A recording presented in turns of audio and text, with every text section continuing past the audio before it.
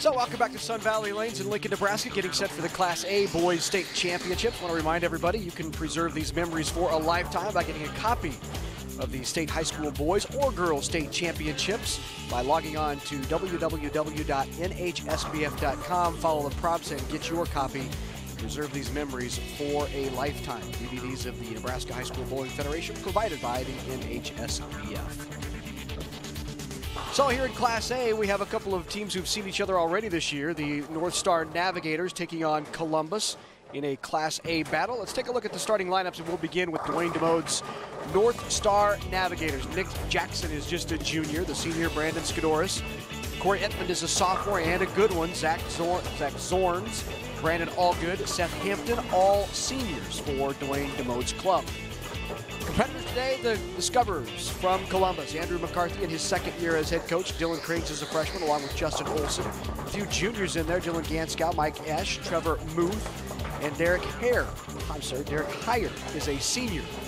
So it should be a good one here in Class A. The boys practicing now, getting ready. When we come back, we will have the championships in the Class A Boys State Championship. We'll be back at Sun Valley Lanes in Lincoln on NET Sports.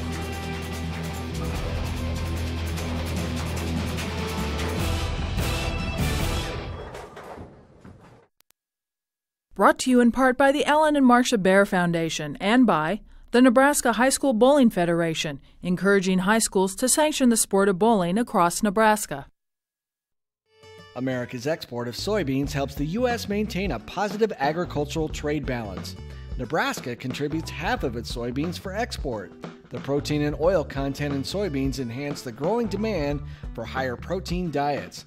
The Nebraska Soybean Board promotes research to develop new soybean varieties with higher protein and oil content for major agricultural markets.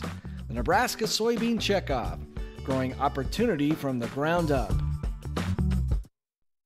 Programming provided by Nebraska Public Power District. My job with Nebraska Public Power District takes me to new heights, offers me challenging experiences. Like me, the utility cares about Nebraska. I go home at night knowing that what I do makes a difference. To put it simply, I am where I want to be. Nebraska Public Power District. Always there when you need us. Together with your local public power utility. You're watching NET Television.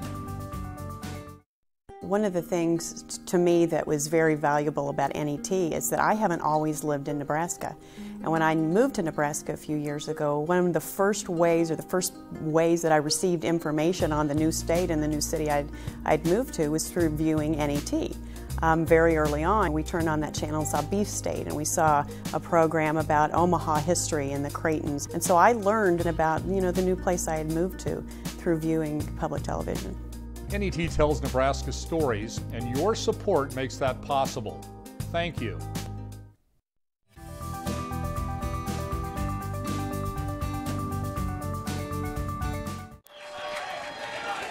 So welcome back to Sun Valley Lanes in Lincoln, Nebraska. Two state champions already in the books. We will crown one more here in Class A. I want to remind everybody that the Nebraska High School Bowling Federation is thrilled to be bringing you bowling statewide on NET Sports. If you'd like more information on high school bowling in the state of Nebraska, all you have to do is log on to nhsbf.com. You can learn all you want to on their website. But great to bring high school bowling championships to you, border to border across the state of Nebraska on NET. Just a reminder, we've talked about this earlier today, but Nebraska, the only state in the United States which telecasts their high school bowling championships. And you might say, is it sanctioned? Yes, there are 20 other states that sanction high school bowling uh, within their athletic associations. So we're ready to go here in Class A. North Star taking on the Columbus Discoverers. North Star with the first shot of the game.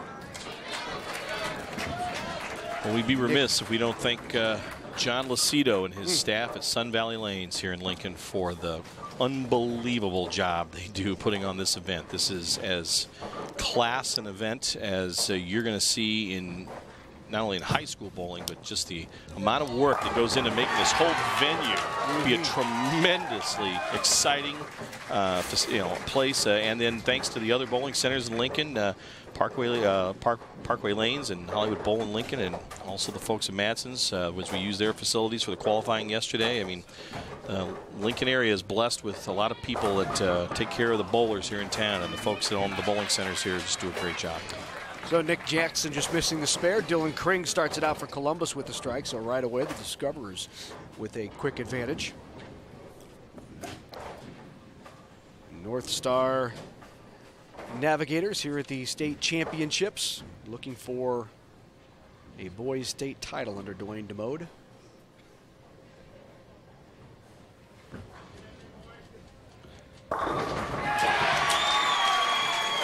Looks like a giant marshmallow going down the lane there. Brandon Skidoris. Didn't hit like a marshmallow. That was quality shot. Open shoulder, comes through the ball with a lot of torque. Tremendous job. Look at Dylan Ganskow. Ganskow averages 202 on the season. Came up a little high, left a four pin. Still uh, finding their way around the lane conditions. Take a little while for him to get zeroed in. Here's sophomore Corey Epmond. Epmond just a solid, straight up the boards kind of kid and carries. Corey, high average on this team, and the son of assistant coach Dale Epmond Jr.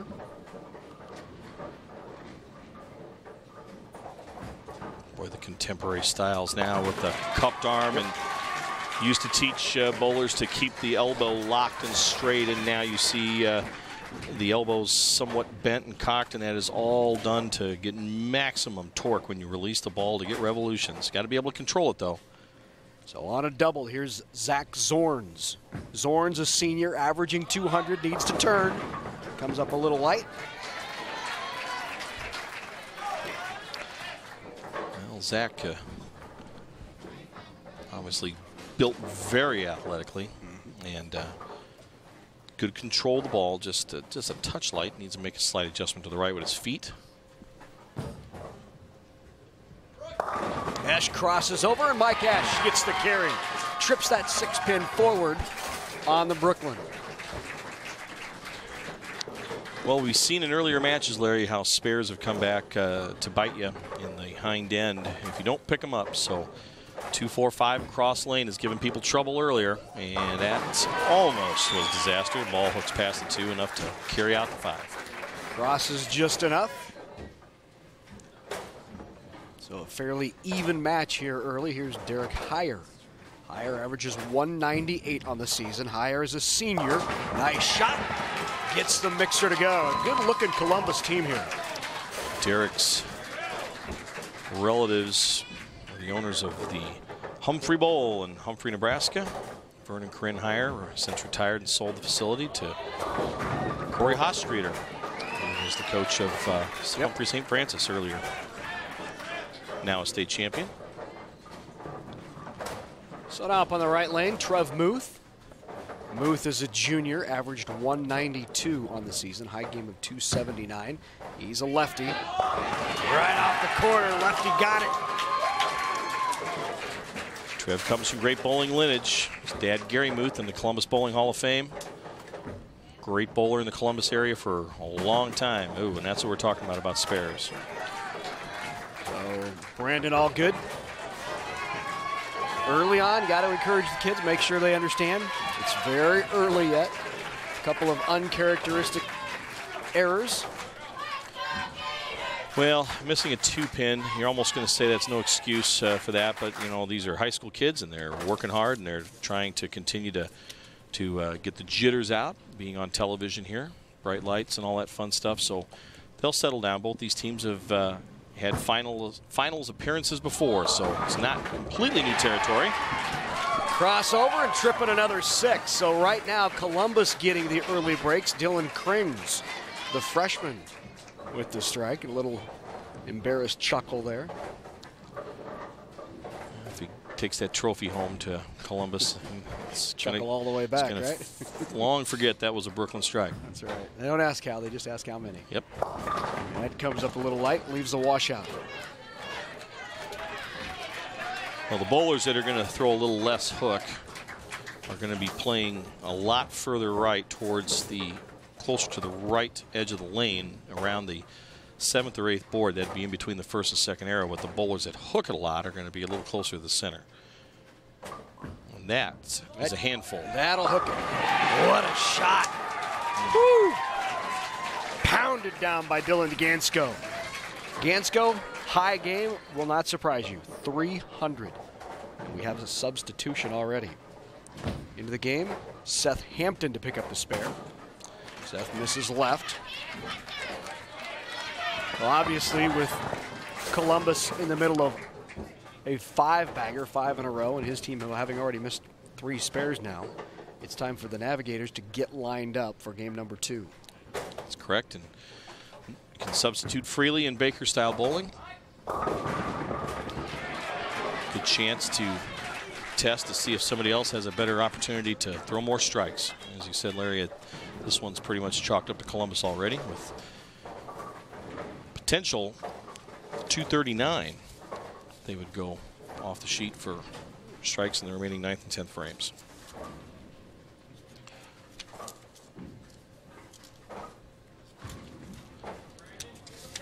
Shoulder there. Finish, yep. Comes in a little light.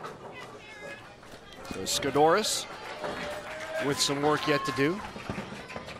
Each of these teams have seen each other already this year. North Star knocked off Columbus the first weekend of the season. So way back on December 4th, opening weekend of, actually it's the second weekend, but opening weekend of conference play.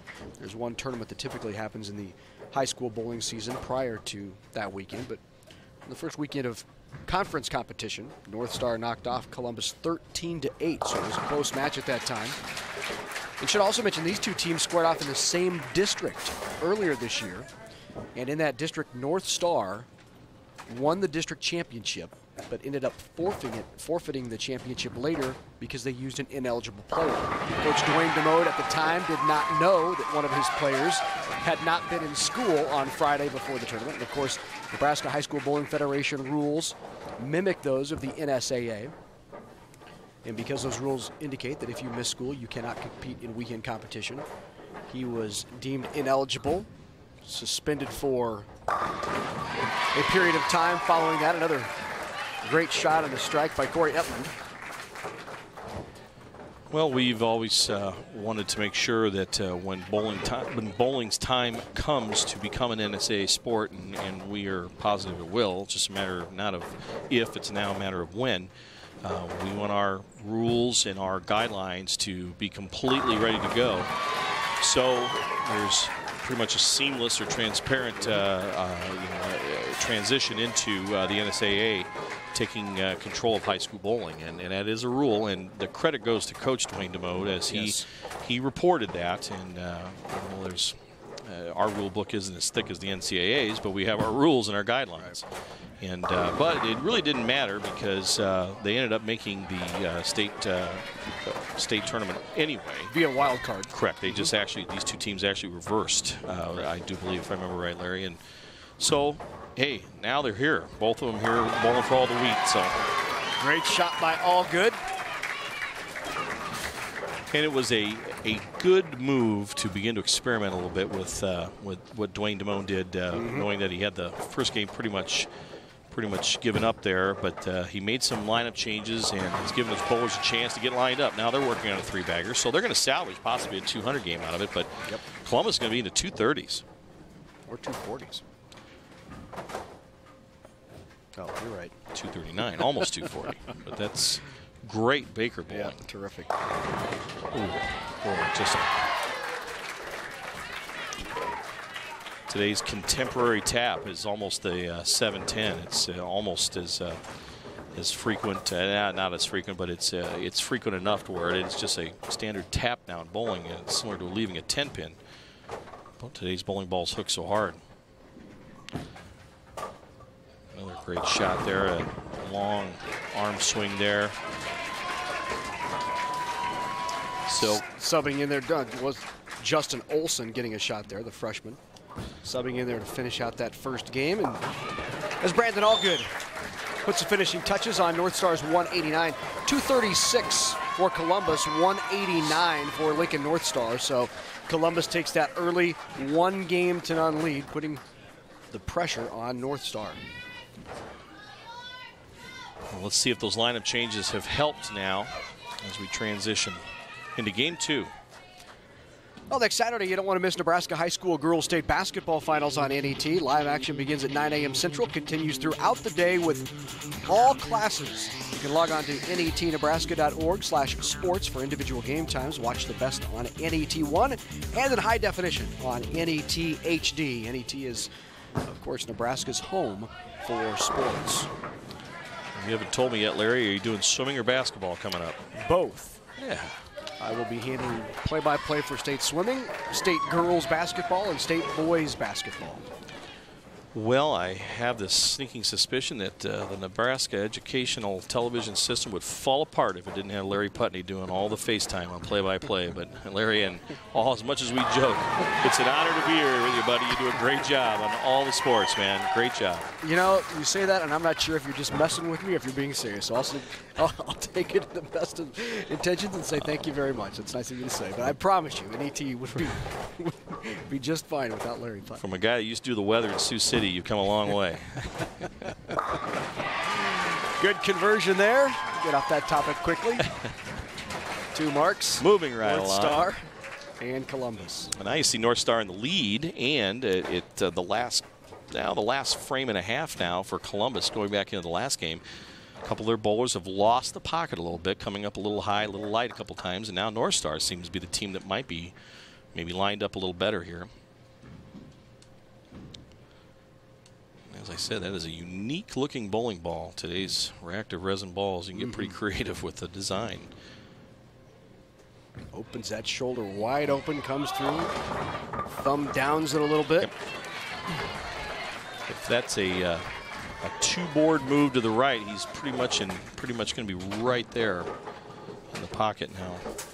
Talk about power and thumb down. This is complete rotation of the wrist. Watch the point of release here. Dylan Ganskow, boom. Right at the bottom, turns on it, sets up, carries the trip four. And in addition to turning his wrist around, he's also cocking his his wrist, and at the point of release, he's he's actually uncocking it, so the ball not only rotates left to right, or right to left, I should say, but it rolls off the end of his hand. It creates a little bit of forward roll too, and that's what makes that ball roll so heavy at the pocket.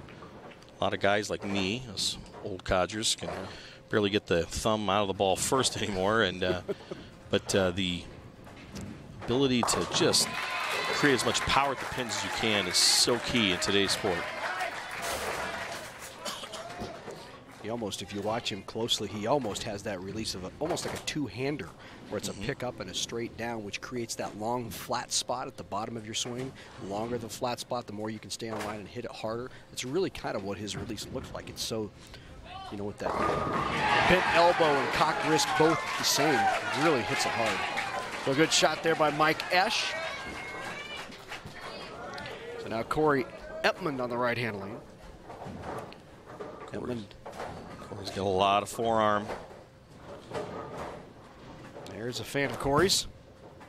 Straight up the boards, crosses over.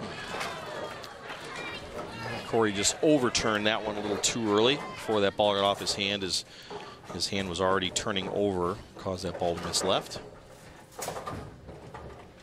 Good shot and carry. Derek Heyer with another strike. Derek Heyer has his lucky quarter in his pocket, doesn't bowl without it. Whatever it takes. That's right. So Etman needs the conversion skid. Mm. Well, once again, Columbus is coming out, stringing them together, putting pressure on North Star, and you can see what happens when you put a little pressure on a team. Well, as I just got done saying at the start of this game that Columbus might have been lost a little bit. Now they found it. It's important to get a strike working here, and there you go. Got that to roll out just in time and trip the four. So a big shot there, very big shot for North Star. Now they need Brandon Allgood to follow it up with another one. Because this guy will grab a hand, grab a chunk at the bottom as well, this lefty. Trev Muth.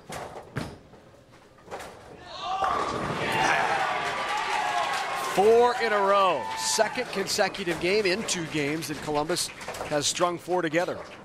You'd almost consider Trev a more of a uh, of an in-betweener. Doesn't really overhook the ball, but comes out of it very well at a great angle, playing way off on the left side towards the gutter, and a strike right back by North Star. Good shot by Allgood.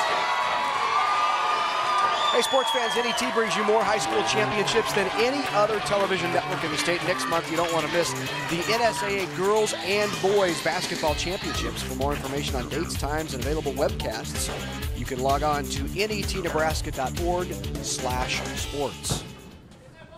Here's Dylan Krings again. Krings makes it five in a row. Well, that's going to be tough to beat. You're not kidding. Here's Nick Jackson, who desperately needs to put one more on top of the double. I think the only the only solace to this is is that if you do lose, you're still alive. You don't have a large deficit to make up. You just need to win the next game. Same type of hit doesn't carry for Dylan. It did for Trevor the shot before. That's Derek Heyer. My apologies. Derek Heyer with the shot. Nope, you're right. That was Nick Jackson. That's what we said to start with, right? That's right. Okay. Columbus can really, really twist the knife now with another strike. Be six in a row. Just a strong release. Wow. Dylan Ganskow again. 300, 730. High game in series. Wants to go to UNL, go into engineering. Remember the Quiz Bowl team, 3.9 GPA, and oh yeah, he can bowl a little bit too. absolute necessity, this spare. And hmm. we're past having North Star in a hole now. They're, they're pretty much almost buried again. But being down two games, you can come back and win. You can come back and win the next three. So in the middle of six in a row. And here's Mike Esch. We'll try to keep it going. Got a hook. Left the 2-8. I don't know if, if I'm uh, if I'm Dwayne DeMode, I'm, I'm, looking like I'm been run over by a truck because the North Star boys haven't made a whole lot of bad first shots. They're they're they're not picking their spares up, but they've been in and around the pocket for the most part. So it's not like they're completely lost. Lost in bowling means that you just can't find the pocket. That you're either high or light or completely miss it. So if I'm Coach DeMode, I'm, I, I don't know if I would begin to substitute other people in. I would uh, just think that uh, somewhere down the road they're going to have to start carrying. Right.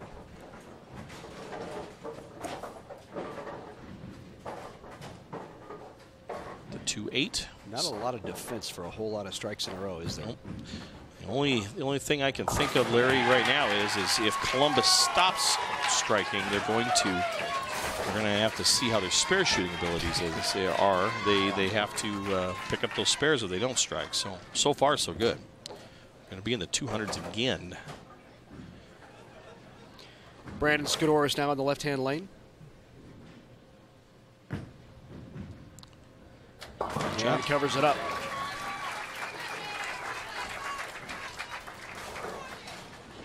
All Columbus has to do is show up here, and they'll be the winners of game two.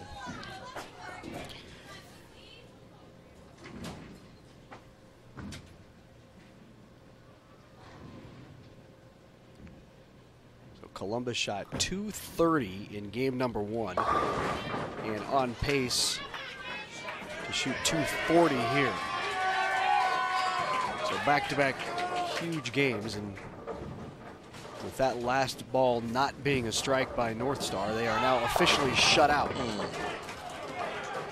It's kind of a little bit of a late finish there for mm -hmm. Columbus's Derek Heyer. Senior. He's the heart of the team on his bio sheet. Got a good cover.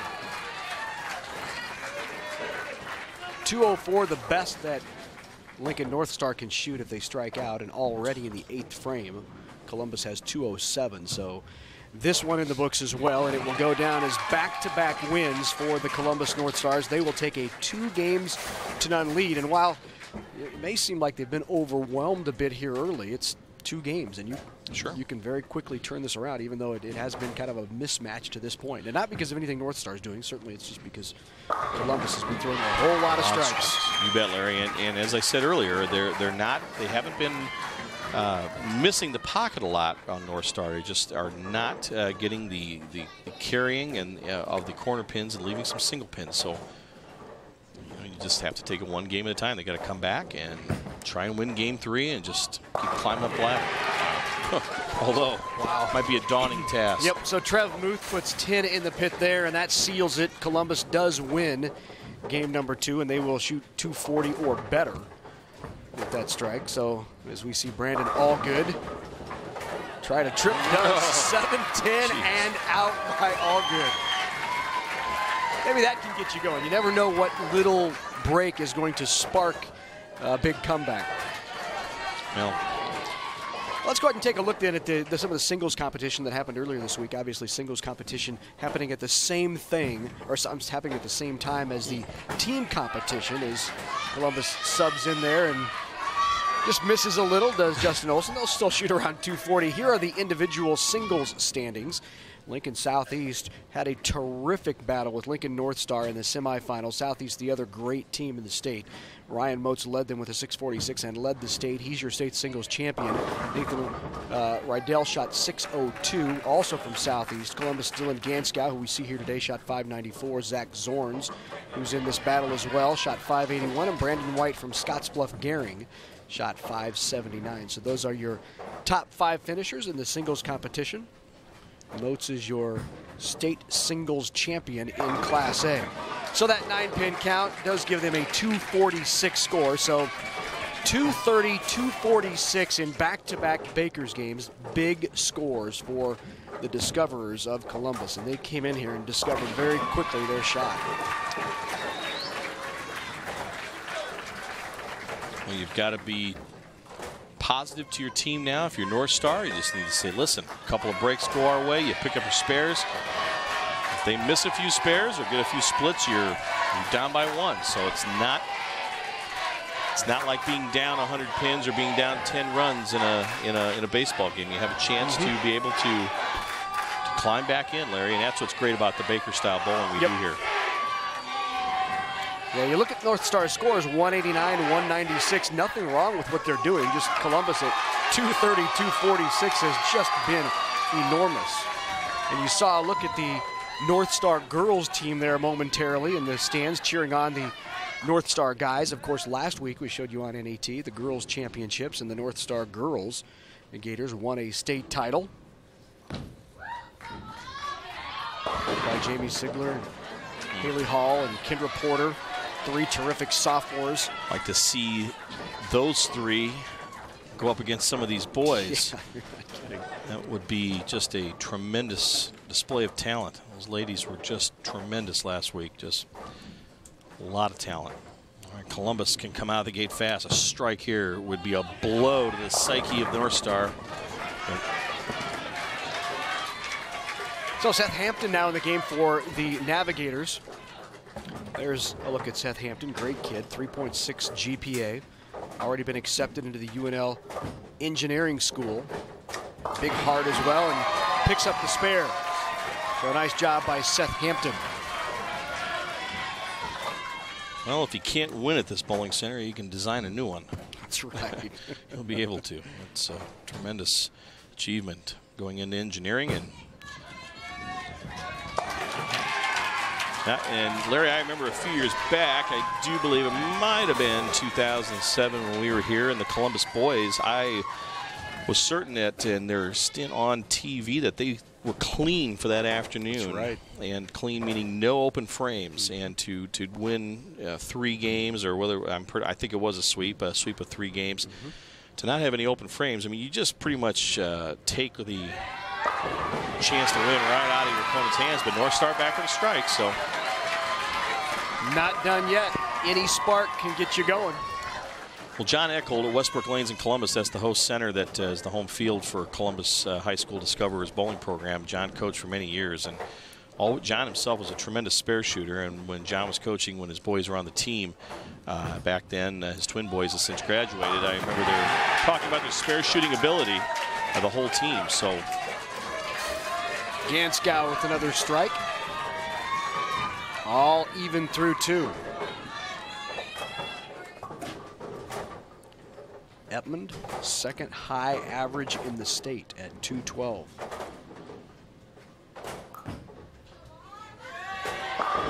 Great shot.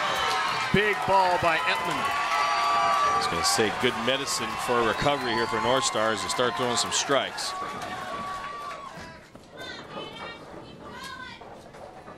So now Mike Esch up on the right hand lane. Kind of a bump bump there. Good shot by Esch. A lot of times that means you lose the ball off the swing, and uh, but that if he did, he lost it right in the perfect spot. North Star can begin to climb into the head of Columbus inside their minds with a three Left. Sits. It's not. And it's sat up for Zorns. Zach Zorns with a big shot for the co-captain. So this is the way you want to play it. You just want to strike, we'll go right along for the ride. Columbus says keep up. Boy, what a great match. What a great game. Both teams started out this game number three with an eight spare, and both teams with three in a row. Needs to hook. It did. Get it out. Mm. Didn't quite slap that tin out. Little too much skid, not enough roll. The ball just didn't come in at the right angle. Larry just kind of uh, went a little too long before it uh, made its move to the pocket. So North Star's got to convert this spare because that's what got him off track the last game, even though Columbus threw six or seven in a row at him. And here's Muth again. Crossed over and left a four pin. Saw Trev let go of the ball. The ball, instead of going out onto the lane off his hand, went up and out onto the lane. That caused that ball to nose up and go high. Cross lane at the 10. Good cover by Allgood. I think that's big, Larry. Yep. In my opinion. Now you're going to put the pressure on Columbus to make some spares. They haven't had to do too much of that so far. Trev cross lane. Uh-oh. And There you we go. North Star now with a two-pin lead. Spare working makes it 12. So the two teams switch lanes. And it's North Star with its first lead of the match.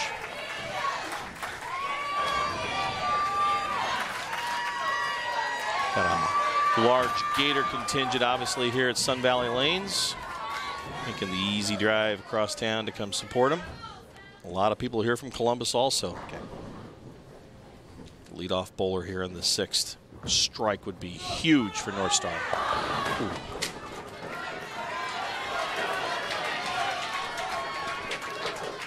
So Seth Hampton. A little bit of work to clean up, and now Dylan Krings. Krings, JV All-State first team last year. Dad's had a big influence on him in bowling. He says high game 289, average 183. Comes up a little light and trips the 2-8. 2-8 and out.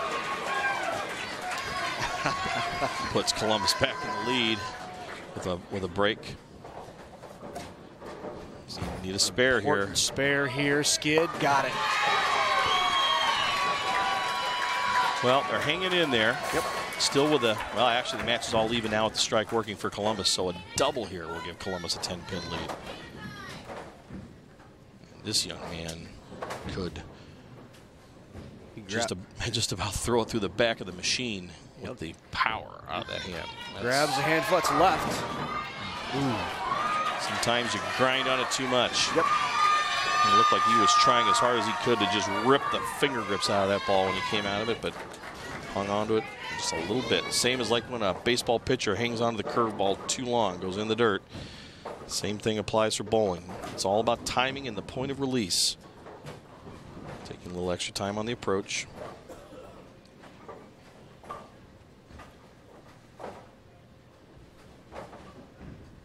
Still a tight game with North Star on top by 10. Uh-huh.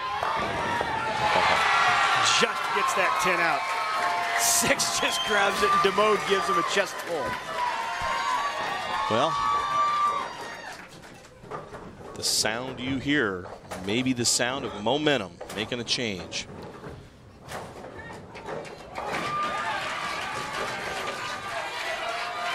So still a 10 pin advantage for North Star and a big shot coming up for Corey Ettman. Corey can put some pressure on the Discoverers here with a double. Take him up by 30, Larry, if he can throw a strike. One of the few times that they've led, and it'll be the biggest lead they've had. Needs to hook. It was just a a touch, quick. touch fast. You Yep, bet. yep. That's exactly right. Just a little fast.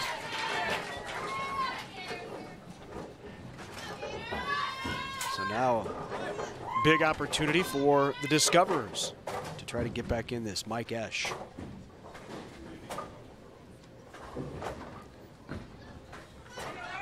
Good shot by Esch. Ooh, that's God, the messenger avoids tragic 7-10.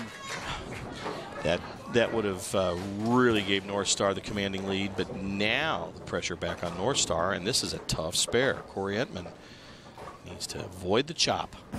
Straight at it with a lot of speed. Oh, and he just a little too quick. That's actually a the attempt there was very well taught to take away the hook and go straight at it. That's very well taught. If you watch the PBA tour on the weekends, you'll see how mm-hmm. most of the pros approach it that way. Strike here puts him back in the lead, or excuse me, that's a spare. It ties the match. Strike by the Columbus Discoverers in the next frame puts them in the lead. Gives him a one pin lead. So a tight match still. Zach Zorns on the right hand lane. Zorns, senior co captain, starts up a little too quick. And that's a tough conversion as well. His, his teammate Corey Hittman was a little fast uh, the frame before. Shot before Zach was a little slow on that, caused the ball to hook high. 3 6 9 10 coming up. And that as well. A little light. Well, now we're gonna, it's going to come down to spare shooting. This match is virtually even. Columbus with, or excuse me, North Star with a one pin lead right now, but it's going to come down to spare shooting here in the ninth frame. Cross lane, tough spare. Got it. Good conversion by Zorns. Likes to be called Diesel.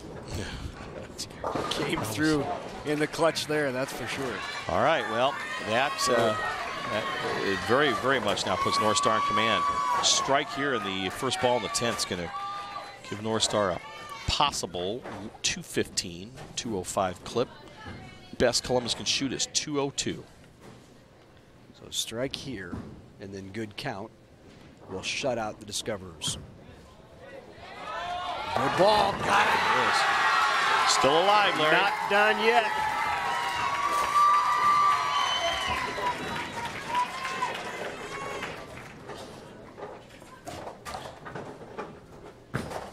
Like eight pins is the magic number for North Star. Yep. And now it's less than that. So now it's over. 192, the best that the Discoverers can shoot. 195 already the score for North Star. That is So they're getting a little uh, Big Mo back, and he has switched benches. What a tremendous, tremendous release there that ball. Not as much hook as some of the other players, but still the contemporary release. A lot of forward and side roll. So credit Coach DeMode for getting his team's head back in the game. Allgood. Another one of those terrific students. 4.043 GPA, three-year student council. National Honor Society. He was the kid who stepped up in the 10th frame yesterday, needing nine or better to beat Lincoln Southeast and make it to the state championships, and he did it. And Southeast, got to tell you, a terrific high school team this year. So a big, big accomplishment for them to make it here, and we're seeing a couple of great teams here as well.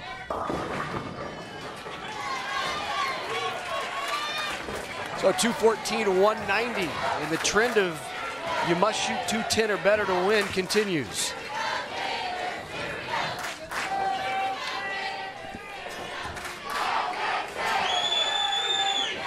There's your final 214 190. Hey, you can go online with NET News for one-on-one discussions with Nebraska policymakers each week on Capital Conversations. NET News reporter Fred Knapp will explore issues important to Nebraskans and introduce you to the state's decision makers. Watch online at nebraska.org slash capital conversations or on Facebook at NET News Nebraska. Well, Larry, we've talked in matches prior to this about what we call transition and carry down. Transition and carry down is how the oil migrates down the lane as these guys that just put tremendous revolutions on the ball. The ball actually acts as a sponge and picks up the lane conditioner. Some of the oil will remain on and in the ball, but a lot of it ends up further down the lane the more games you bowl, and that's going to affect the reaction at the back end. And you saw on our left-hand lane there for Columbus, our leadoff bowler, you saw uh, saw the leadoff bowler just begin to miss the ball or miss the pocket just a little bit to the left. Some of that is caused by the transition. That was Dylan Krings that uh, strong ball, but the ball just didn't quite make it up to the pocket, and some of that could be because of the lane conditioner going down the lane. Seth Hampton, great spare by Seth. Wow. So an important shot for the Gators. Now another look at Dylan Ganskow.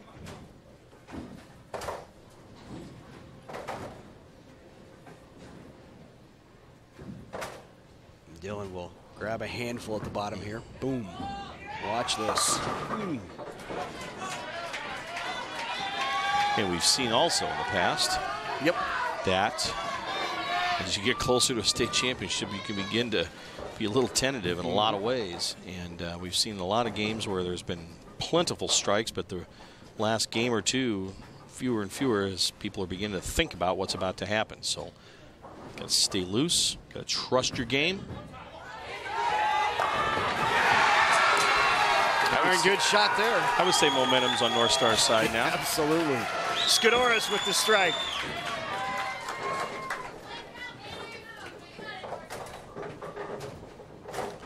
So now we'll see how the spare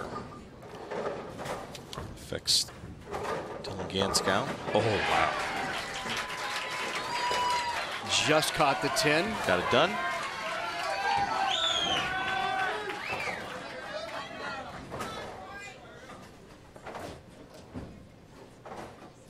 Corey came up light the last time he bowled on this lane. See if he makes the adjustment. I'd say so. Walking it off.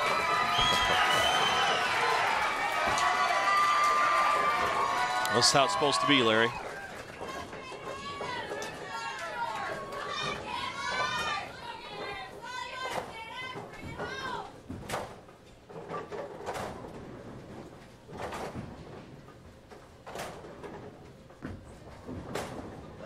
Little crossed over, left the five pin.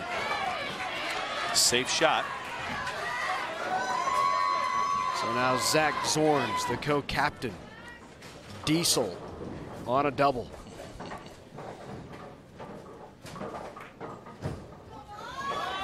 Get there, got it, what a shot.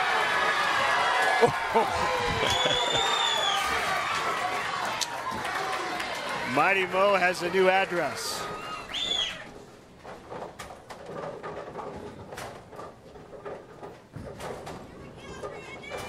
Good cover. When you're in the moment and you're down 2-0 and the, your opponent has just shot 230, 246 at you, it's hard to imagine that it can turn like this, but we've seen it so many times where you just get a shot or two to go your way and it could have been Allgood shot in the 10th when he had the 7-10 and tripped him. All of a sudden, that kind of break can provide that switch that just flips. And now they've got a four-bagger going. They're putting pressure on Columbus. Columbus is beginning to squeeze it a little bit. 100% right, Larry. That ball looks a little left, just a touch high. So, yeah, there's now beginning to be a little bit of look of concern. Now, uh, Coach McCarthy for Columbus High has got to gather his players together and say, hey, come on now. Let's remember, we just need to squeak out one more win. What Columbus is doing, though, Larry, is they're picking their spares up so far. Open frame or a split four. Uh, Have yep. better to say there that. I think we've All seen more more spares missed for from right-handers going from right to left than we've seen going across at possibly a 10 pin. And they're really having a tough time navigating the heavy conditioner in the middle of the lane. Muth crosses over. Got a break, took that five out. Could have been a It's just- split. it's just a much less confident demeanor than we saw a game ago or two games ago out of Columbus. You've seen Trevor now, Trev Muth, uh, you've seen him now cross over both times, and uh, that's a sign that he's a little tentative, doesn't want to give the ball away to possibly throw it in the gutter. Left-handers are playing a little further outside on the left side of the lane. And another open frame. So, what do we, what do we say about back, spare yep, shooting? Back-to-back single pins open, so important. Not just from a score perspective, but a momentum perspective as well. I mean, the, the energy that that takes out of you when you blow single pins like that can really affect. Well, you can preserve the 2011 Nebraska High School Girls and Boys Bowling Championships with a DVD copy offered by the Nebraska High School Bowling Federation. For your copy of the championships, log on to nhsbf.com, follow the links, and you can preserve your state championships for a lifetime. Great shot by Seth Hampton, rung a 10, and try to get the five bagger. The crowd knows now that North Star boys have found their spot on the lane to consistently hit the pocket. Columbus needs to answer right now. And they do. So big shot by Dylan Krings, being able to throw that on top of North Star coming off of its run of strikes can provide a little bit of momentum, but great job by Hampton to convert. Such a key shot there. Keeps the pressure on Columbus. It's a 56 pin lead right now by the Gators.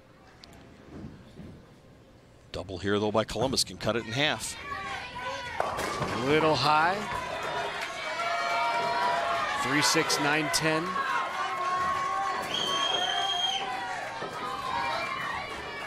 That adds up to trouble. Mm -hmm.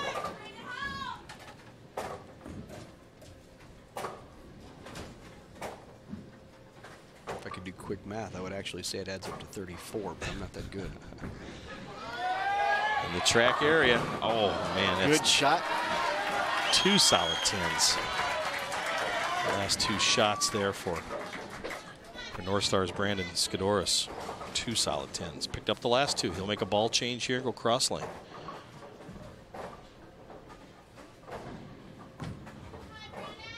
Sit.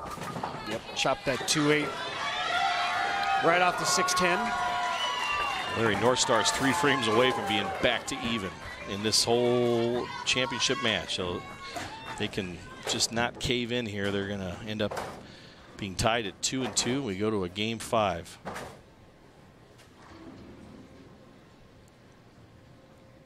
And again, it's really about staying clean right now for North Star. After that big run they had, the four in a row, and the three opens that the Discoverers have had, has opened it up to the point if they can just stay clean, they'll walk away with the win.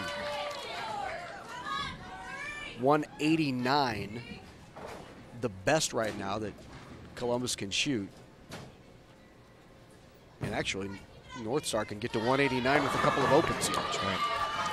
You're actually you, what you're and Larry, you were right on spot when you said it earlier about uh, Columbus now beginning to to uh, to just grip it a little bit, and uh, that's what's happening. They have just lost their trust in where they're playing on the lanes. On the other side of the coin, North Star has got a their bowlers have a loose swing now and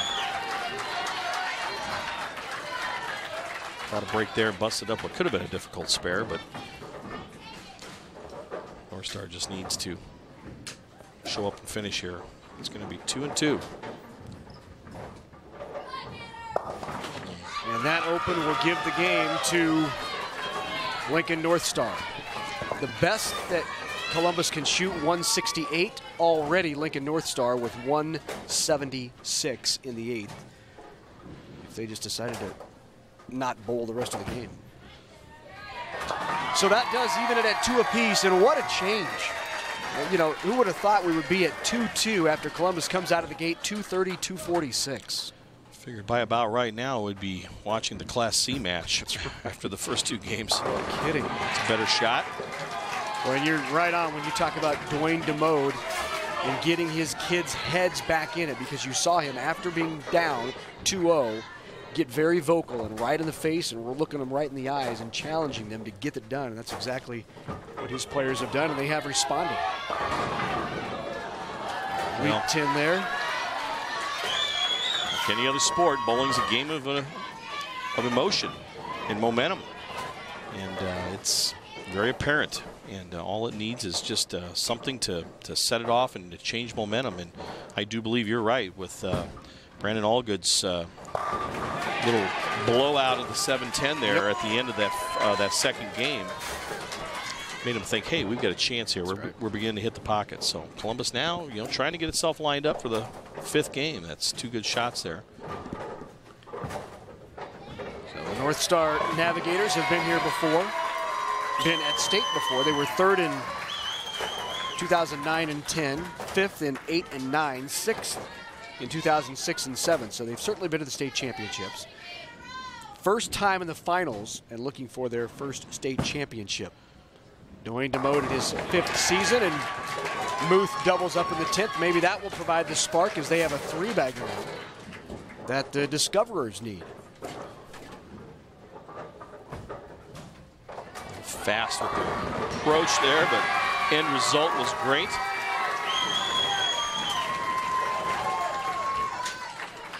Well, if you want to win in this Baker showdown, you better shoot 215 or better. You're not going to be close. Just tremendous scores all day today. That's all right. Trev Muth just saying, let's get this done. Let's get it over with. No excuses. Columbus finishes with 165. North Star will shoot a 220, depending on whether he picks it out five or six. And we are all even at two.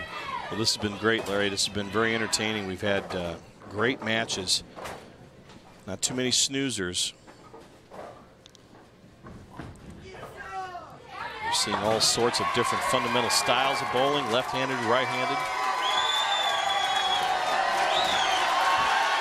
So all even. There's Dwayne DeMode of the North Star Navigators. A lot of credit, you know, goes to Dwayne DeMode. He played a very pivotal role early on in the development of this arena-style finals. He was one of the guys that did so much work in putting up the netting and putting up the backdrops and setting up the bleachers and creating this arena feel. And it must be very gratifying for Dwayne as you see how excited he's getting.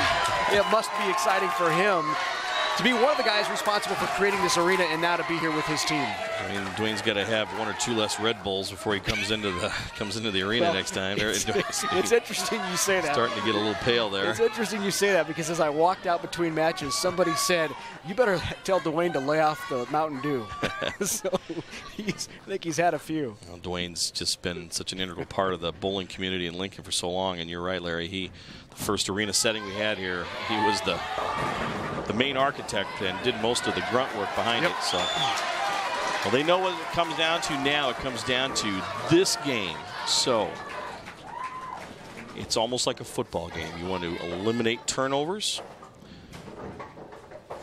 Don't want to give your opponent an opportunity to capitalize and take the lead while they're sitting on the bench. Krings to lead it off for Columbus. What a start. There you go. Just what you need. this makes the spare here. Some people wonder why you put one of your top bowlers at the front of your lineup in Baker. That's why. Exactly. It can provide the momentum necessary to carry you, and that was a huge shot by Dylan Krings. You need a strong anchor bowler. You need a strong bowler in frames 5 and 10. But yep. you are 100% right. You want to get momentum on your side. This young man kind of lost it a little bit here in, the, in games 3 and 4. Let's see if he gets back online here. Ganskow goes left and carries the Brooklyn.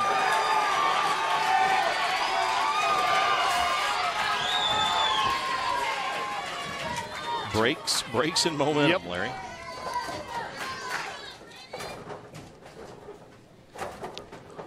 never know when it's going to happen. You can just feel the tension in the arena. Coming down to a fifth and deciding game. Just stroked right up the boards. Got it. What a shot by Skudoris. On his bio sheet, it says Brandon is very, very quiet. He wasn't after that after that strike. His face was bright red as he was urging his teammates to keep it going. This is going to be a great finish. So now Mike Esch's turn to answer. Esch, the junior from Columbus. That's a great shot. Another one. Three bagger. Columbus starts out on fire.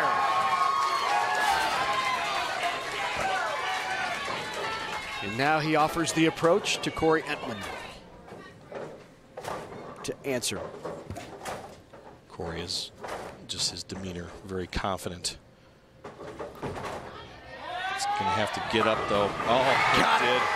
Boy, you talk about cool. Oh. For just a sophomore, a little bit of ice water running through those veins. A little wide. Leaves the washout. That's no man's land. That's out of bounds out there. Out of bounds from about the sixth, fifth or sixth board out on the right-hand side of the lane. Well, the Stars can feel it. You heard the crowd. Zach Zorns, co-captain, tugged it a little bit. It's got a skid, crossed over.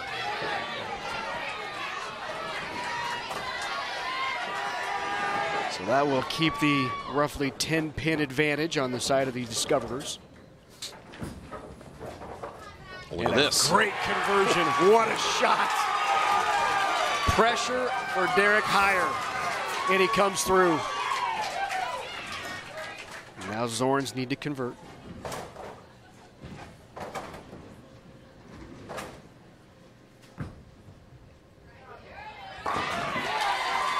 Good cover.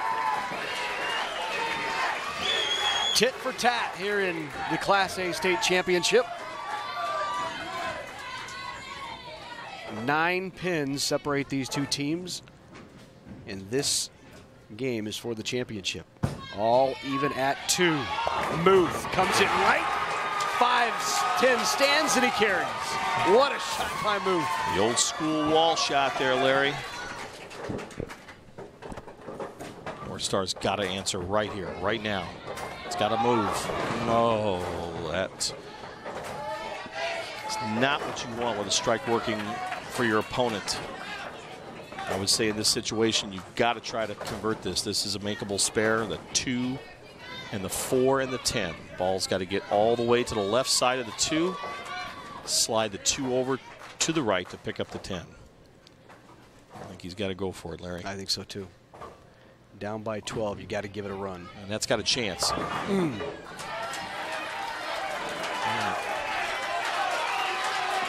Strike so, here by, I'm sorry, strike here by Columbus puts him in front by 33. What a finish here in the boys Class A state championship. 94-107 plus for Columbus. Well, the Nebraska High School Bowling Federation proud to have its state championship competition broadcast throughout the state of Nebraska. For more information about high school bowling, you can check out the website at nhsbf.com matches and finishes like this. Why wouldn't you? What an exciting finish. Great shot. What a ball by Hampton. He was a sub that came in, I do believe, yep. in the middle of the, the end of the second game, Larry, and he has been right there for them. Now Dylan Krings trying to throw a double onto what he started back in the first with a strike. Turns over on that one, right in 10. Maybe just a little bit of adrenaline there. A couple of miles an hour, Yep. just uh, just a little bit fast, caused that ball to finish a little late. Still a great shot though, for a bunch of young men that are barely teenagers. Uh, throw the ball like this, Right. it's just phenomenal talent out here. Brandon Skadoris averages 194. Big double opportunity. He's got to sit. Ooh. Maybe needed to finish. And that that was dangerously close Yes, to a it 7-10 again. Now both teams are going to have to rely on their spare shooting. Yep. To keep them in the match. First one that misses a spare may end up putting their team in harm's way of losing. Cross lane at the 10. More speed, less hook. Nice and aggressive and a great shot. So Dylan Krings can feel good about what he's done for his Discoverers. And he will be done for the match and sit back and watch and see if his teammates can deliver this state championship back to Columbus. We've said earlier how teams have had trouble cross lane at the seven pin. That's how to do it. More Right direct there. right at it. Great shot by Skadoris. And so now if the Gators are going to get back into it, they'll have to string some together. But first we'll take a look at Dylan Ganskow. Ganskow crossed over strike double in the second. Right in the middle of that three bagger, which gave them this 15 pin lead.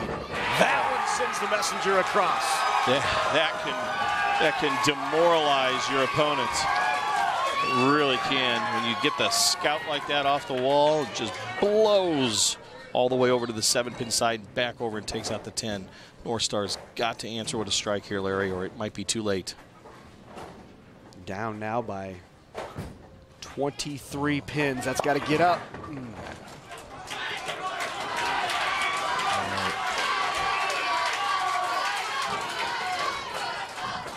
Columbus on pace to be in the 220s. Could shoot 250. North Star now is on pace to be about 190. Now here's Mike Esch. Esch, great ball, and you can see the swing suddenly just loosening up for Columbus. That, I think, right there is enough to get the trophy engraved. It's not quite enough, but it's just about. Plugged in the engraving machine, Yep. haven't they? Has to convert this to have a chance. Otherwise, the best North Star will be able to shoot will be 190. 199. That's a chance. Oh, what a shot! It's not over yet, Larry. Off the wall. Great cover by Impman.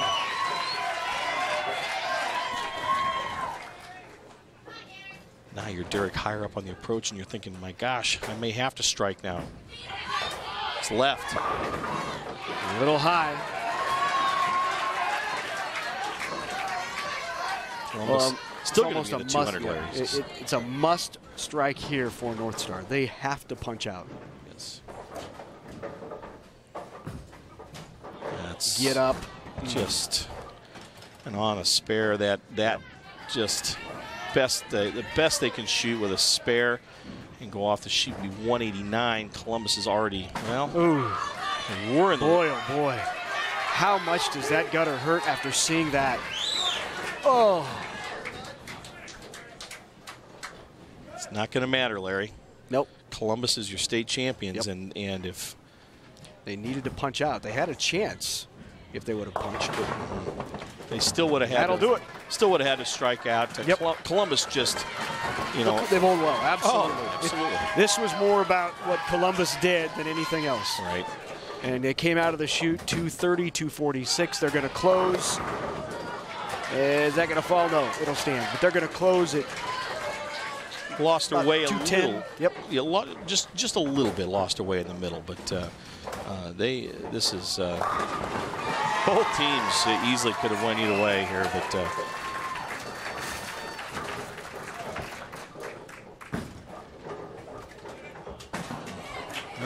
Swing Slid by 200. And it is enough. Nick Jackson will close it out for the North Star Navigators, but you see the celebration. The Columbus Discoverers are your Class A state champs. Jackson will finish it out, trips that.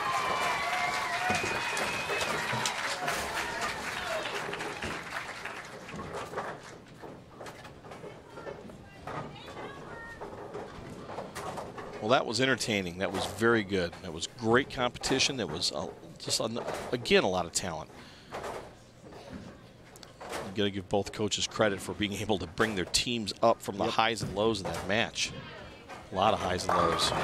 Saw a great finish there by Nick Jackson. But a tough loss for the Gators, and congratulations to the Class A state champs, the Columbus Discoverers, who came out with a 230 and 246 first two Baker games set. Really put the pressure on North Star. The Gators answered, but in the end, it was the Discoverers winning the Class A state championship. When do we come back, we'll hear from the champs, award the trophies. It's all coming up on NET Sports.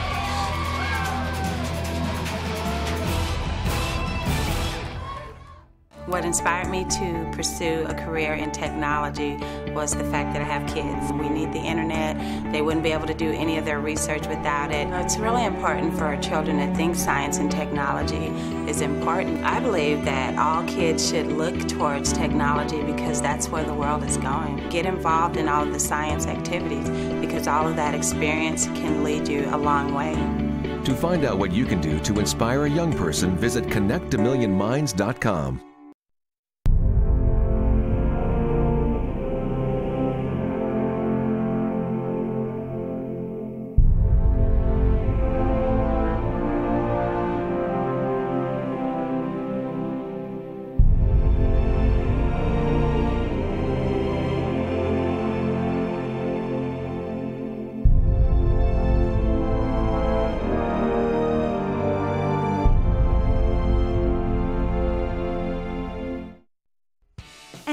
Sports is on Facebook.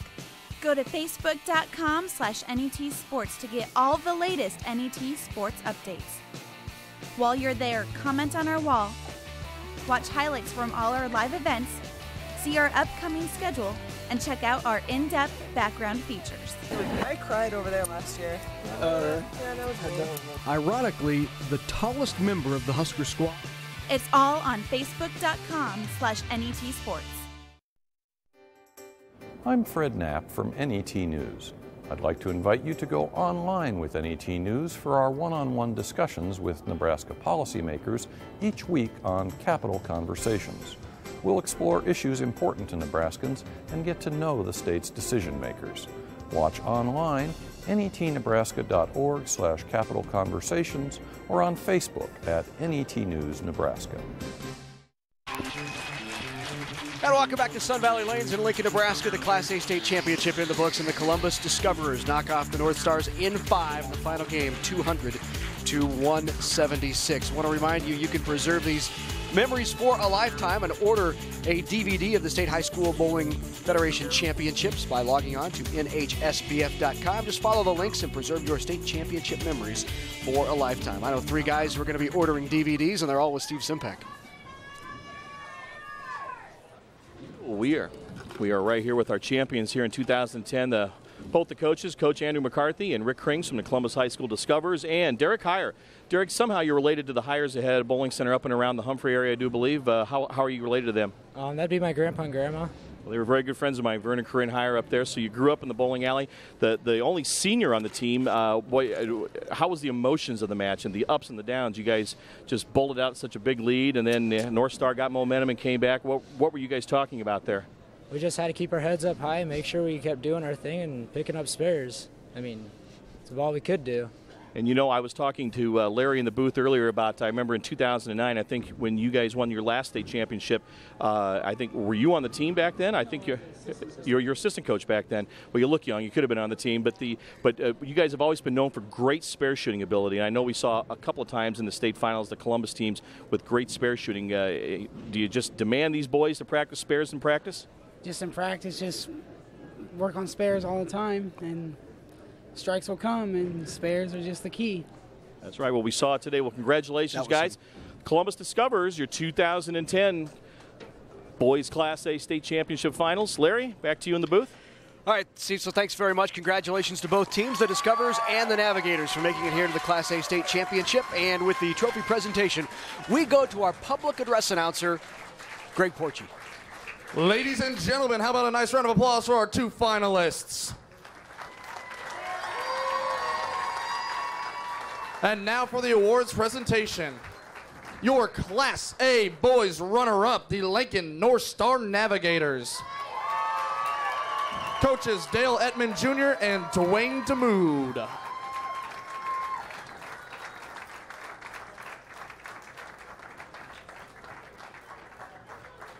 Nick Jackson.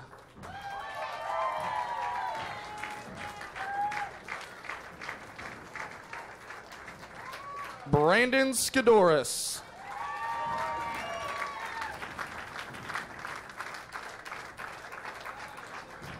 Corey Edmond.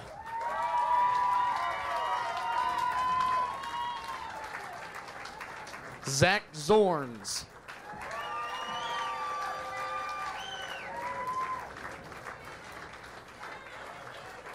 Brandon Allgood.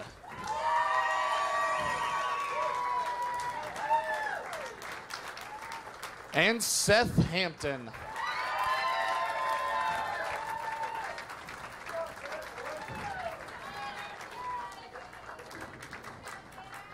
Gentlemen, here's your runner-up trophy.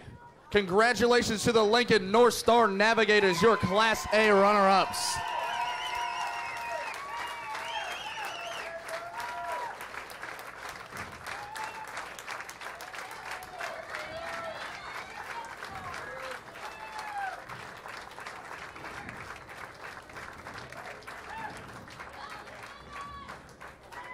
Now, here is your 2010-2011 Class A Boys Champions, the Columbus Discoverers.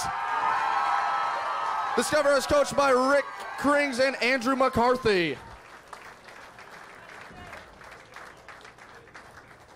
Dylan Krings.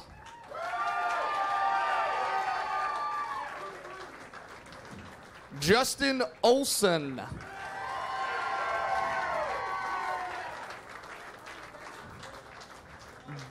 Ganskow. Mike Esch.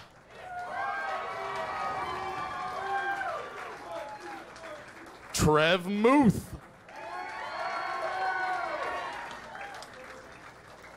And Derek Heyer.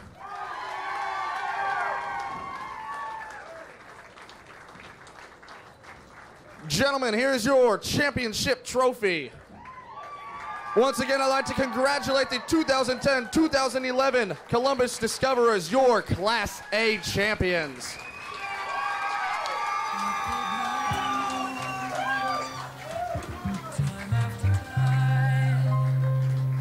This concludes our award presentation for the Class A championships. So, congratulations once again to the Columbus Discoverers, your Class A state champs. When we come back, our final showdown of the morning, it's Class C. Wisner Pilger takes on Ravenna for the state championship. When we come back the Sun Valley Lanes.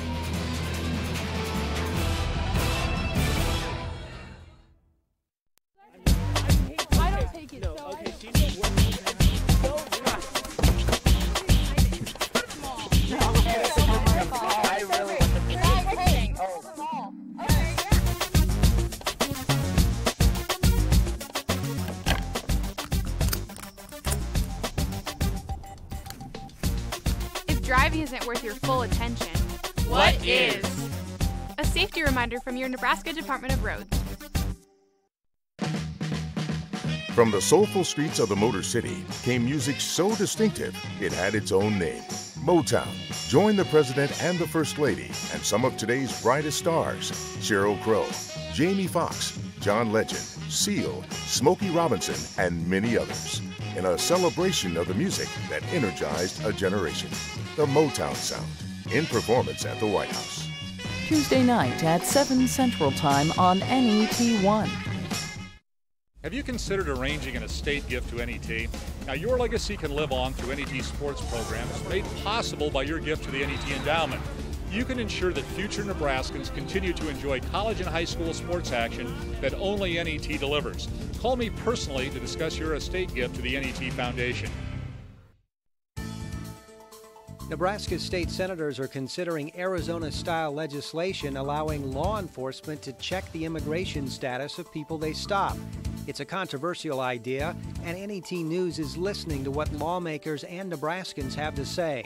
Join NET News reporter Fred Knapp for Nebraska's Talking Illegal Immigration and a discussion of the bill's pros and cons. Monday night at 10 Central on NET 1 and NET HD.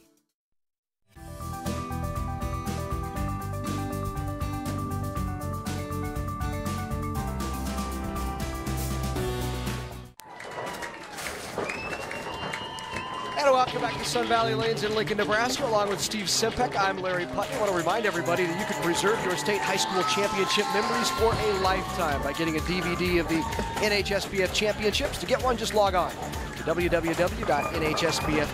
and you can preserve these state championship memories for the rest of your life.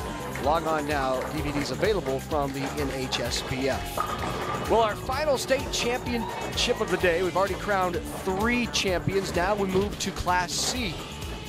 For a state championship showdown between Wisner Pilger, the Gators, and Ravenna Blue Jays. Here's a look at Krista Geese's Wisner Pilger Gators. Drennan Hengst is a senior, as is Phil Wolt.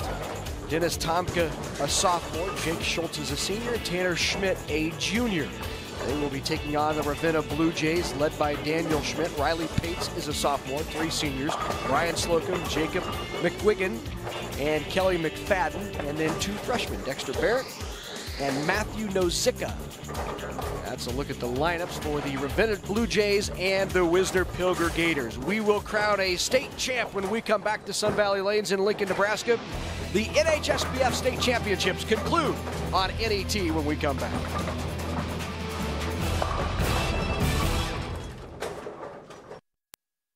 Brought to you in part by the Alan and Marcia Baer Foundation and by the Nebraska High School Bowling Federation, encouraging high schools to sanction the sport of bowling across Nebraska. Well, the consumer is demanding food safety, and, and that's one reason that you know, we've all got the attitude we do of raising the food in the United States to keep a safe, safe food chain for our consumer because you know, we never want to lose that consumer as our buyer of our product. Nebraska soybean farmers and the Soybean Checkoff support the Nebraska poultry and livestock producers as our farming neighbors and soybean meal customers. Power Drive Electric Car program gives high school students a hands-on way to apply studies. Learn about electricity and energy efficiency and develop skills that will benefit them throughout their lives. Nebraska Public Power District encourages students and teachers to get involved. Schools have the power to make it happen. For information on Power Drive, visit oppd.com or nppd.com. A lot of kids will say, well, you know, you can't have a good time anymore without drinking. Well, the interesting thing about young people drinking excessively is that they look like regular young people. They don't look any different wasted, plastered, or feeling no pain, they all mean the same thing drunk. Slamming down five drinks or even more within a couple hours. It happens a lot, and it happens to be the very definition of binge drinking. Watch Binge, an NET television production, Friday night at 7:30 and 10:30 Central on NET1 and NET HD.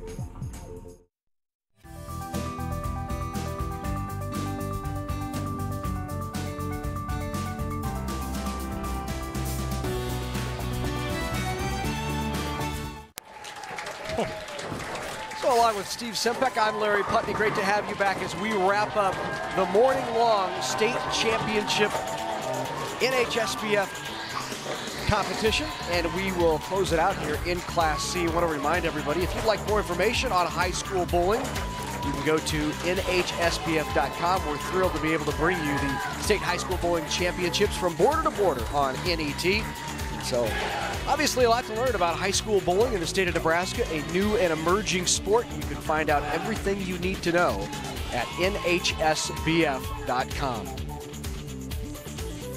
It's been a good day so far, Steve. We've had some terrific matches. You take a look at Class A, which just finished up, and what a battle that was between North Star and Columbus. Columbus obviously coming back and winning it. We could have another good one on tap here in Class C as well. Both teams here have been in state competition before. And yes, that Columbus match was uh, was just fantastic with Lincoln North Star. It was uh, about as exciting as you can get coming down to the last ball in the last frame. So we start things out. Wisner Pilger Gators get going, and right away, Drennan Hengst, the senior, gives them the early strike. So now up on the right lane is Brian Slocum. Slocum is a senior. He averages 186. Crosses over and Slocum carries as well. So back-to-back -back strikes to open it up. Now back up on the left lane. Here's Phil Wolt, Philip Wolt. Boy, good shot by Philip. Everybody right in the pocket so yep. far. Now it's Kelly McFadden's turn. Kelly is a senior. Averaged 160, I'm sorry, 176 in conference play. Good ball by McFadden, also leaving a 10 pin. So identical starts for these two teams from Northeast Nebraska. I'm sorry, Wisner Pilger from Northeast Nebraska, Ravenna, Ravenna a little west. Yep. Get your MapQuest there going there. Ravenna is Don and Pam Herbert's Bowling Center in Ravenna. The Sport Bowl just yep. one of the nicest little, cleanest little bowling centers you're going to step foot in with probably I'd put their I'd, I'd, rank their cheeseburger in the top five of the bowling center cheeseburger rating scale. Yep. Very good food, and they've uh, run also on the ground floor supporting high school bowling when we formed. And uh, Coach Don Herbert is the assistant coach for the boys team. Tanner Schmidt with the strike. Schmidt the junior with a big shot. Nobody having trouble finding the pockets so far, but having a little trouble on those corner pin spares though. Both 10 pins were missed there, so. Here's Riley Pates. Pates just a sophomore. Pates comes up a little high, leaves the 610 at the Sport Bowl in, in Ravenna. Don and Pam Herbert uh, owned the bowling center uh, for a long time. And, uh, Don and Pam are good friends. They're going to get mad at me. I'm making them sound old, but uh, uh, one of the most successful junior bowling programs uh, that we've probably ever had in the state of Nebraska for an eight-lane center. Mm. you know, they their numbers were over 100 for a long, long, long, long time, and they would even have youth leagues after school because they couldn't hold anymore, have any more room on Saturdays, and uh, so all of this translates into future high school bowlers and hopefully future adult league bowlers. Oh. Chops the head pin off. Well, it's a strikes only game, yeah. it looks like here. We're having a little trouble with the spares. Three strikes, four opens between the two teams through three and a half frames. Wisner Pilger with a lead, but Ravenna can cut into that with a mark here. Jacob McGuigan. Not a bad ball by McGuigan, leaves the soft 10.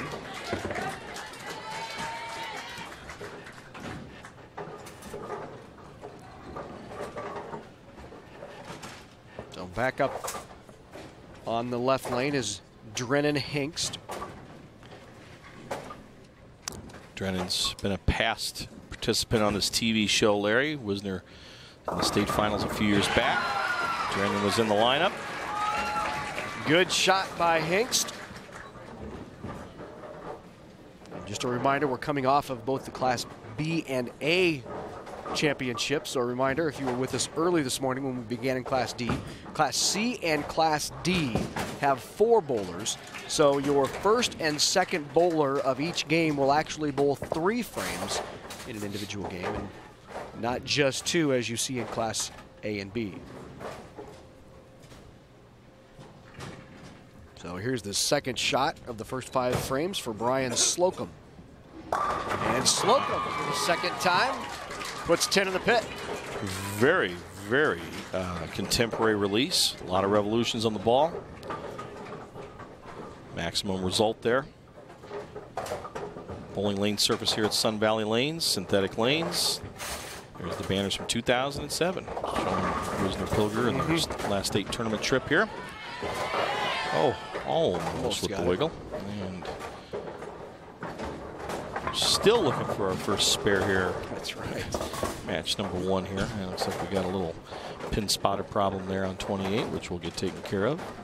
And uh, I should mention that uh, the coaches for Wisner Pilger, Krista Geese and Kathy Geese, mother-daughter, also the owners of Wisner Lanes, which I would put in the ranked top five rankings of the best piece of prime rib I've had at a bowling alley. Very good little restaurant up there off of 275 if you're going through northeast Nebraska. The coachman's there. They Great food. We've always made it a point to bowl tournaments up there just to go eat. there we go. Good shot by Philip Wolt. Philip's older brother Adam also bowled for Wisner Pilger. He was part of that 2007 banner that was hung on the wall here and has Wisner Pilger's name on it. Part of that team. Crossed over there. Riley Pates. It's pretty. It's pretty uh, uh, obvious that uh, the boys know about where to throw for their strike line on their on their first ball, uh, but still struggling with the proper angle to take on spares. Uh, that right there is really the the first big miss we've had. That was Tanner Schmidt from Wisner Pilger that uh, pulled the ball past the head pin. So. All right, we're on the board with a spare. There finally. we go. Riley Pates converts. And now Tanner Schmidt will try to do the same. A little tougher here with the 138, but that's going to be right there. A good conversion by Schmidt. So back up on the left lane now is Jacob McQuiggin. McQuiggin, very consistent spare shooter, two-year starter, was all district in football as well. So a good athlete is McQuiggin, and he puts 10 down.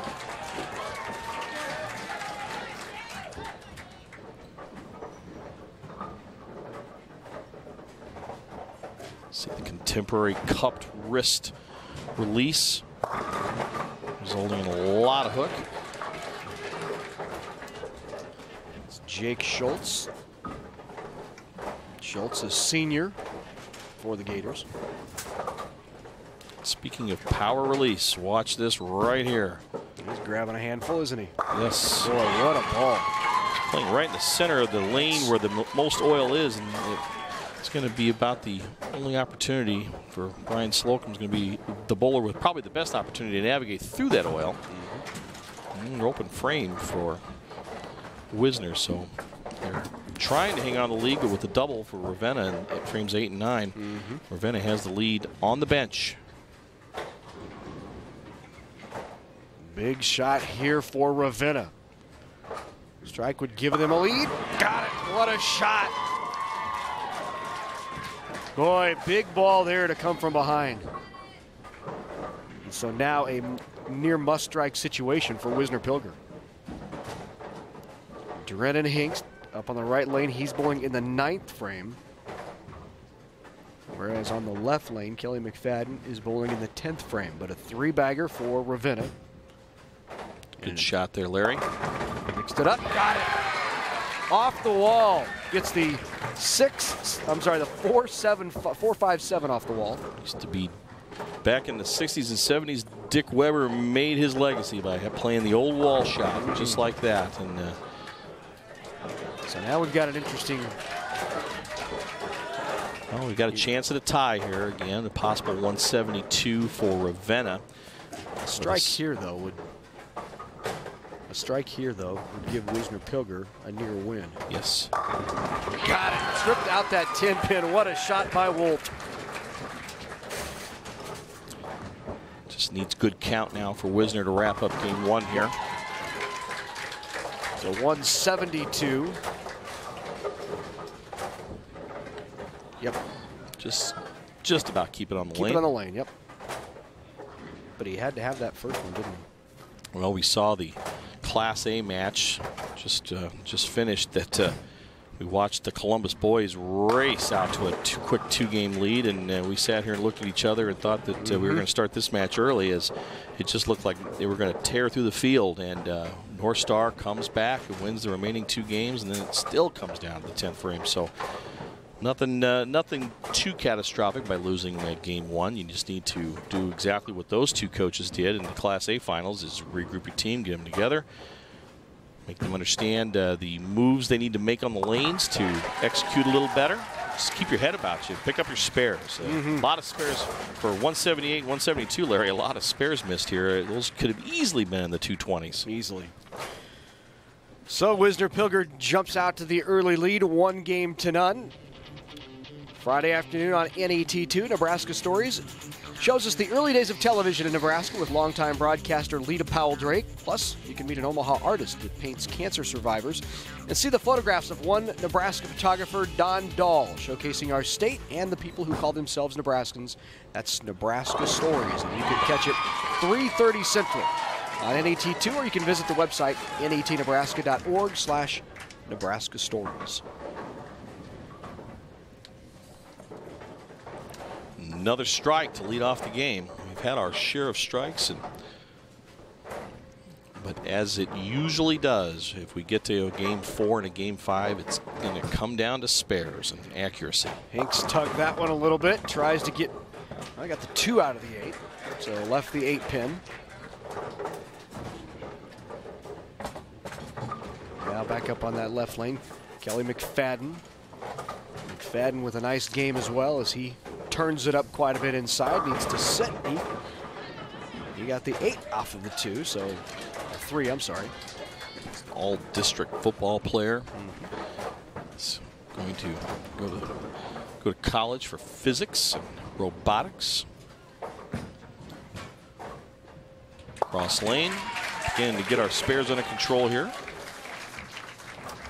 Switching bowling balls. Going to go to something a little straighter for the spare. And a good cover. That's a good move. Some some uh, some bowlers are more than willing to just kill their shot. They use their same bowling ball all the time, but they'll take the hook off of it. They'll collapse their wrist so the ball goes straighter. Some prefer using a different ball. That's going to have to get up. Set it down a little too far outside.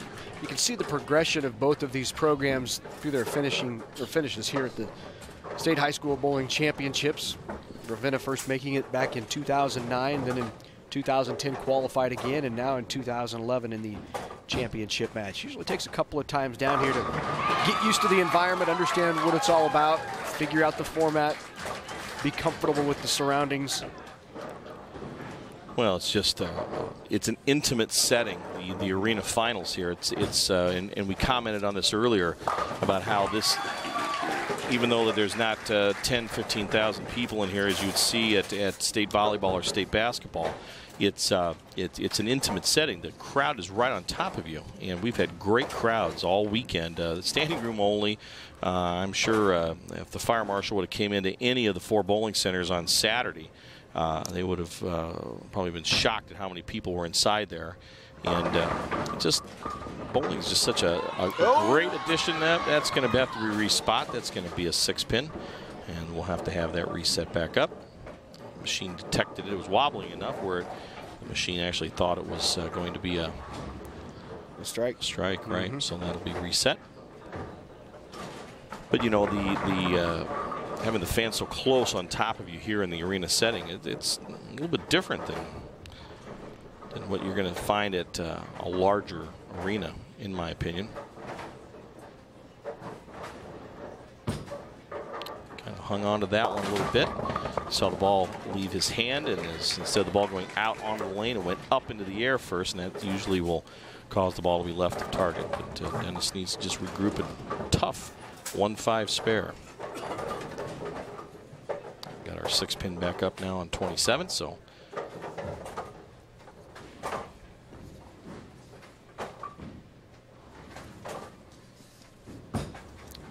Better job there at the spare. And a good cover on the 1-5. Oh, good cover by Dennis Tomka. In the game for Wisner Pilger.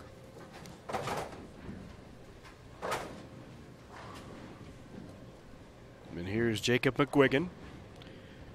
The senior for Ravenna. It's really an outstanding group of seniors for this Blue Jay team. Ryan Slocum, Jacob McGuigan, Kelly McFadden. All three of those seniors on Ravenna really dedicated their time, according to Coach Daniel Schmidt. Put in a lot of time in the off season as well to practice, travel to other towns, bowl in tournaments, and really improve their game. And certainly shows a couple of very strong bowlers on that Ravenna Blue Jay squad. Another good shot there. And good carry as well. Call Brian the power bowler on the team. Four-year starter. Ah, great shot there on the baby split. It's Wisner Pilger now. Now we're seeing some spares, Larry, which uh, is uh, going to keep this match tight. Good cover there by Jake Schultz. Still about a about a 27 pin lead for Ravenna. With a Strike working in frame five.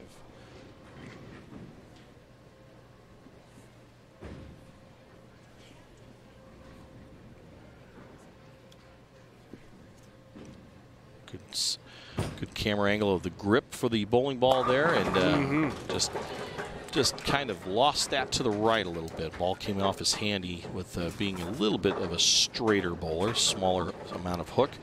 He really needs the ball to be going down the lane with the boards, but with the boards meaning not coming off his hand and fading to the right first. If you're a power bowler like Brian Slocum for Ravenna, you can get the ball off your hand to the right and be able to put enough lift on it to come back uh, to the pocket. So he needs to just be a little straighter. He needs to go left of the head pin here for the one, two, four. And that Good finish, hook a little bit, got it. Well, unconventional, but picked it up nonetheless. A lot of ways to skin a cat, as you say. Hey, I want to remind everybody it's easier than ever to stay in touch with NET Sports.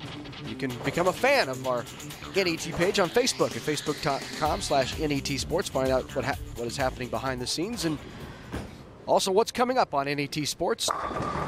Become a fan of NET on Facebook. Pair number ones up here. You get Philip Wolt on the left-hand lane for Wisner Pilger. Kelly McFadden on the right hand, McFadden that is, excuse me, on the right hand lane.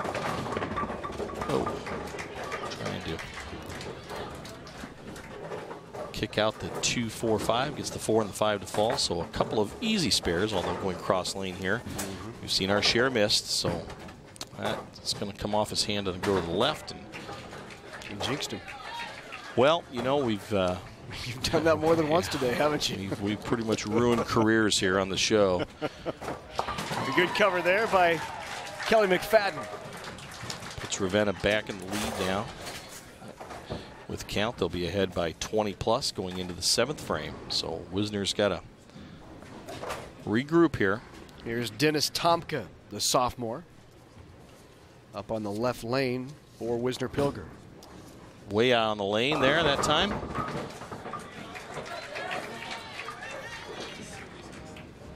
A lot of loft to lead that hook. Now back up on the right lane. Riley Pates. Same, little same light as well, yeah. A lot of loft there. Yep. So a, an easy spare and a not so easy spare here. Spare here and Wisner will be back within 10. They had a good cover by Dennis Tomka. Tomka said it's always a good sign when he has butterflies in his stomach. That means he's going to strike. Wish I had that. Two, four, five cross lane. That and a good cover. Yes. So Riley Pates with the spare conversion. Here's Jake Schultz up on the left-hand lane. Fourth bowler for Wisner Pilger. Good hand, and it crosses over. Can't quite get that six to fall. Jake kind of lets go of the ball at, at his point of release. He falls away a little bit from the shot. What that means is, is as he slides, he actually steps away from the foul line, steps off to the right. Uh, see a lot of that when there's uh, in today's game. Uh, do anything you can to get as much leverage on the ball and as much hook, and even if that means you don't end up with that textbook uh, tee with your foot at the foul line. You always want to try and teach to slide perpendicular to the foul line. Stays a little more control in the spare, but a lot of oil in the center part of the lane still, Larry, as we're on our final match of the day here, and uh, a lot of oil still in the lane. So cutting through that uh, is just uh, got to be accurate. Got to go straight at him. Need to get a pin reset here on number 28.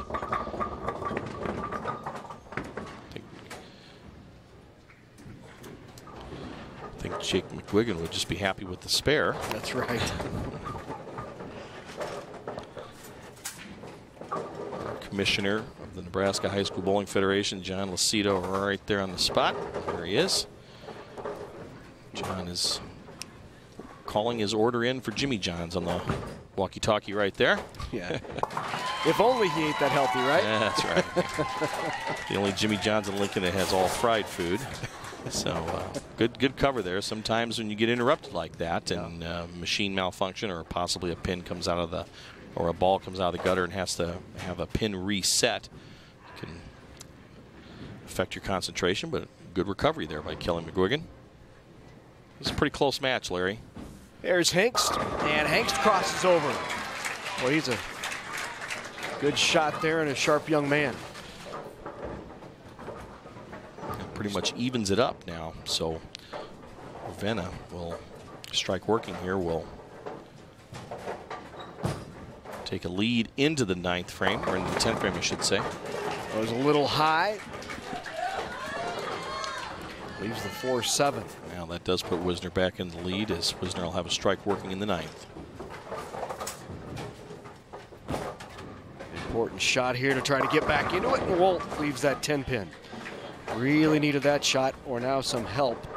So all that Ravenna is going to have to do is make sure they convert this spare and get good count, and they will take game two. Ross Lane, oh, slid a little bit. I think they're still okay. 20 to 46, 60. Yep. Just count is all they're going to need. Ravenna will need in that 10th frame, and that's providing the spare is picked up by Philip Wolt. Good shot. So Philip best he can have is 166. Ravenna really needs just four pins here to shut out Wisner Pilger. And that'll do it. And a solid shot. So back comes Ravenna after losing game number one.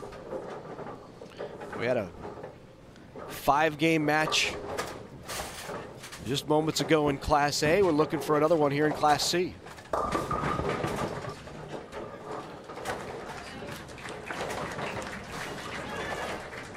164, the score for Wisner Pilger. Going to see substitute come in for Ravenna, Baker style bowling. You can substitute in the lineup at any time. Dexter Barrett. Name like Dexter, he's made for bowling. Yes, he is. Dexter being a very popular bowling shoe company, better clue the mm -hmm. television audience in on that as Larry will get his royalties for mentioning that name there. Larry on the Dexter bowling staff. So 183 uh, with just one open frame is is pretty good. And uh, if you look at the Wisner Pilger score, you'll see two nines and two misses, and that's mm -hmm. your difference yep. right there, Larry. Saw a good cover, 183 for Ravenna, and I should clarify, I'm not really on the Dexter staff. I don't want anybody at home thinking that uh, any quid pro quo going on. Yeah, you still use yeah. alley shoes, right? that's right, and a house ball. Look at my scores, you'll know. Well, one game apiece here now, and uh, I think everybody has began to settle in just a little bit, but so starting it off on the left lane is Drennan Hengst. We talked about how sharp that young man is. He's heading to the Rose-Hulman Institute of Technology at the University of Nebraska. Studying mathematics. He's a 4.0 student. Very bright young man. has a pretty good game as well. Trips that four pin out of there and gives Wisner Pilger the early lead. Let's take a good look here at our power bowler, Brian Slocum. See how he comes through the shot with the wrist cupped. He just kind of rushed that a little bit, didn't really set up for very long at the beginning of his delivery. He's going to come back and get a little coaching session from his two coaches, Daniel Schmidt and Don Herbert. Boy, good shot. So doubling up for Wisner Pilger is Philip Wolt. So a nice shot by Wolt. Switching to a hard plastic ball for the spare. That still hooked a little bit, didn't yes, it? it did. He, a little bit of hand in there. As much as I hooked a hook a brand new resin ball that's 20 grit sandpaper used on it. To, Yep.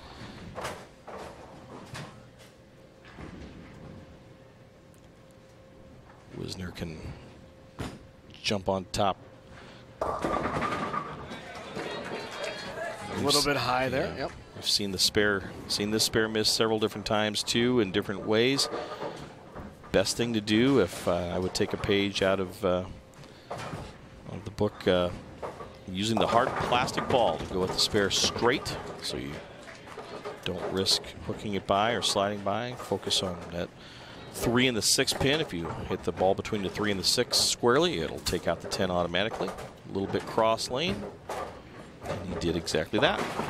Not a good cover. A nice shot by Dennis Tomka. This is a little different set of circumstances here, leaving the two and the eight, double wood. Phillips got to get the ball to the right, hook it in with both pins and the ball taking each other out. Very good. So Good shot by McFadden. So Wisner Pilger still clinging to that lead that they had after doubling up in the first two frames. About a 10 pin advantage. Here's Jake Schultz again. Schultz with a nice shot, rings a 10. Jake's, sorry, Larry, go ahead. No. Well, you're uh, playing right on that oil line is what I was going to say. The oil is the heaviest right around the 10th board, second arrow.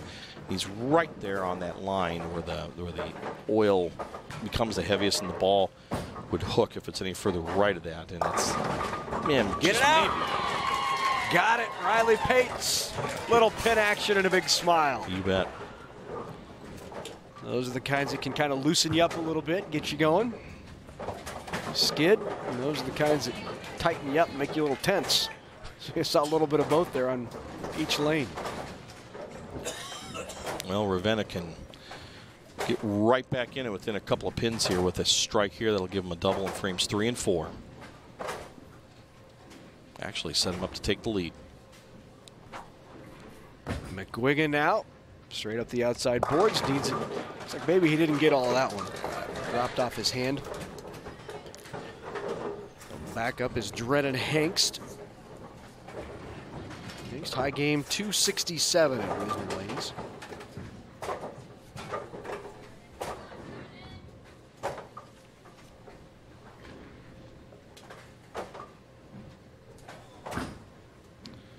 Pretty solid shot there and leaves the five pin. That ball never went into a roll. It was a good shot. It was a very safe shot, but that ball right in the center portion of the lane was pretty much fading most of the way down and uh, caused that five pin to stand there at the end. It's all right though. Safe shot. One, two, four spare here. Good cover. Jake McGuigan with a sigh of relief there. I think he expected that ball to not make it over to the left of the head pin, so.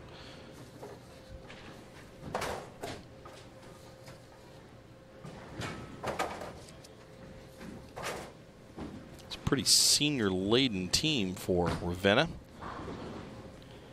Just talked about that before, and just so proud of this senior class for them and how hard they've worked to get better. This is a sport nowadays, Steve, where a lot of people show up for league and expect to average 220, and the day of practicing and going out and working on your game is long since gone. And not to, not a, don't get me on my soapbox, Larry, because I, uh, I'm, a, I'm a pretty strong advocate that uh, we probably would have been better off in competitive bowling if the technology wouldn't have uh, just exploded quickly. But Hey, I want to remind everybody you have many options to gather information, but when it comes to in depth, thoughtful reporting on Nebraska news, your best option is NET News. So watch, stream, listen. Stay informed with NET News, and you can stay informed at netnebraska.org slash news. Philip Wolt. another strike. Phillip's been uh, money so far for He him. has. Nice tight game here in game three. Big shot here could give Ravenna a commanding lead. Leaves the bucket.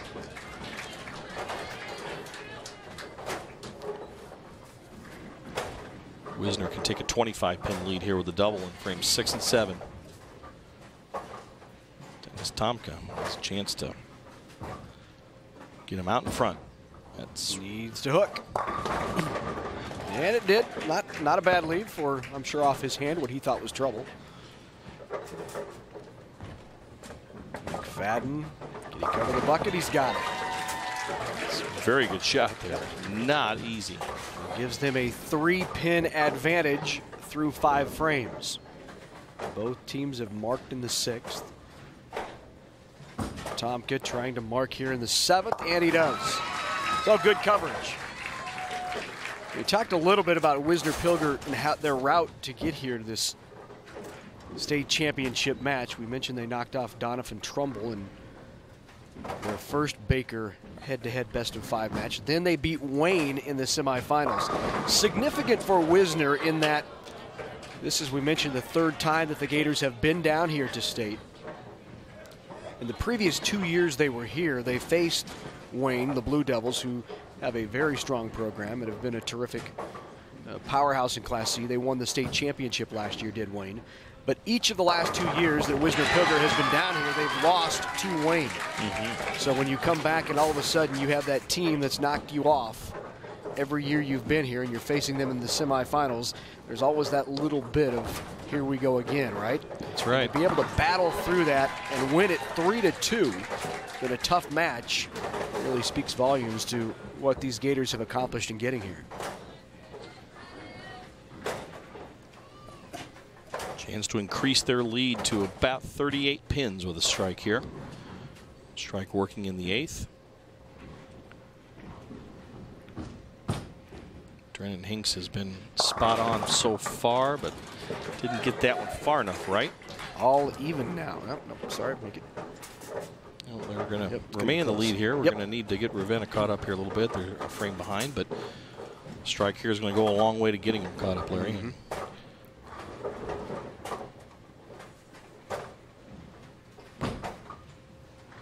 Needs to set. Ooh. Well, all even at 135 in the seventh. A mark here, a necessity for Ravenna to stay even. And Hengst needs to pick up this 310. Get out there. Mm, just a little too heavy on that three pin, which was the front pin.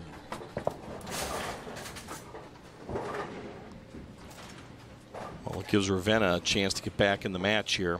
As a matter of fact, a spare here by Jacob McGuigan. And another mark in the ninth. Give them the lead. Yes, sir. So 163 in the ninth. Or Wisner Pilger. That should be an 8 1 in the ninth. And 163. And a good shot. Boy, clutch shot by Mr. Wolt. And now get a clutch shot from that guy right there, McGuigan, who turns it up a bit. Oh, get Slocum. That's kind of a not a great break by four, Brian Slocum. He's got to convert it now with a strike working for Wisner Pilger in the 10th. Potential 193. Set and carry. And you are right. This is almost a must spare, otherwise they can be shut out. Oh, what a shot. What a play by Slocum. That was big. Well, Ravenna can't get shut out right now. So, Now they can't, no. Yeah, they can't. But this, uh, that second strike by uh, Wisner Pilgers Philip Walton, the 10th frame, is going to force them to strike on the first ball in the 10th here. Force Ravenna to get the first strike. Yep. Well, oh, well, count, uh, yeah, that's just enough. They're still going to have to strike. So, uh, well, you're right, Larry. Maybe not. We need a mark here and some count. And that's not the easiest spare in the world, especially Nope. when you're going cross lane. But now he needs eight spare strike to win. Eight spare nine ties. Yeah, you see everybody looking at the score, figuring it out. Is that right? Does he have to pick this up and get nine? Yes, he does. Nine ties it. Cross lane at the 2-5. He elects to go straight at it, and it does. So a nice cover there. Now the last component and the more difficult component to winning this is he must strike here for the win. Nine, and it's a tie. Get that rule book out, Larry. How's the tie work? Uh, one more time, it's a you pick a player, I pick a player as a coach, and whoever gets the most knocked down in one ball wins that game. And he got it. Didn't come down to the tie. Got the mixer and the big shot by Kelly McFadden comes through, and Ravenna wins it 191 to 190. The key in that is the count in the 10th Yep. frame from Wisner Pilger. Yep. That was the key, was uh, trying to seven pins. Do a little bit better than seven, but that's all right though. Yep. Still close, two to one now, advantage Ravenna. Did you? I don't know if you just. I red lip a little bit, read his lips. Kelly said, "I didn't know that I had to have a strike." looked around and "I didn't know that." That might have been a, A good thing. It might have been on purpose from the coaches. That's right. Right back up quickly as Ravenna. All right, so Ravenna with that win now takes a two games to one lead over the Gators. Ravenna looking to close this out and win a state championship with a win here in game four. Wisner, Pil- Wisner Pilger needs a win to extend it to a fifth. Oh, boy, good shot. That was a good shot. Right down the boards, as we said earlier. Stayed on line, just bad break. Couldn't have thrown it any better.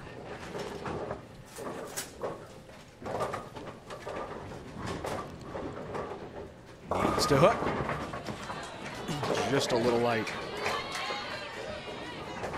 Well, had he had that result, we might still be bowling in the last game. Yes. It was a very similar shot. Very good cross lane spare there. You see he flattens the ball out, takes the, the left, right to left hook off of it, throws it straight at the 10. And now cross lane at the 7. So it'll be interesting as we start to get closer to the end of this game. Now that the championship is on the line, do they remain nice and loose and make good shots, or does that pressure start to build a little bit as they go after the title? Well, I would uh, side on the side of nerves Yeah. if it was me and you up there. Um, just uh, we saw some some matches uh, in the girls uh, uh, in, in girls qualifying play and, and also in the state play with bad breaks has cost people state championships. So I guess you're just never going to know. But if you keep the ball in and around the pocket and pick up your simple single pin and maybe two pin spares, going to have a chance. And a good cover, necessary cover. After the hot start by Ravenna. Now back up, Jacob McGuigan. McGuigan planning on attending Hastings Community College, Information Technology. High game of 256, high series 623. Straight down the boards, just maybe a board, board and a half high there, leaving the four.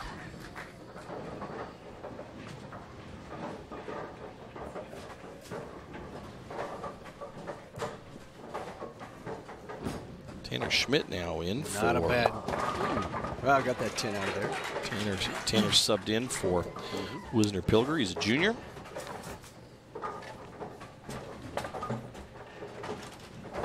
Boy, almost to a man when you look through the bio sheets of these Wisner Pilger guys. As McGuigan converts the spare.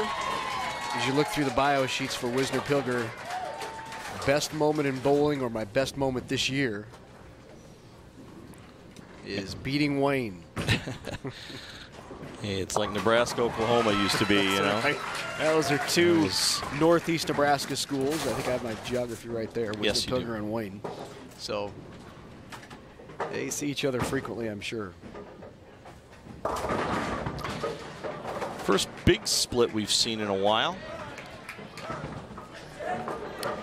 So Wisner Pilger just continues to plug along. They are clean through three. And it seems like I don't know if you've noticed this, but it but Ravenna's the team that's getting up and going. Wisner Pilger much more deliberate, takes their time. Good trip of the five there, and the carry by Jake Schultz.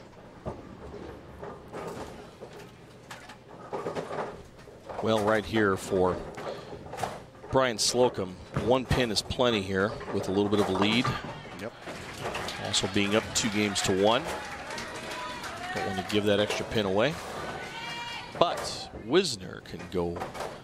Actually, Wisner can tie the match. With a strike here, they'll have a double in frames four and five.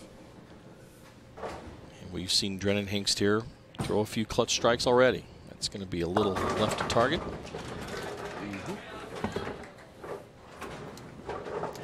Ravenna's going to stay in the lead.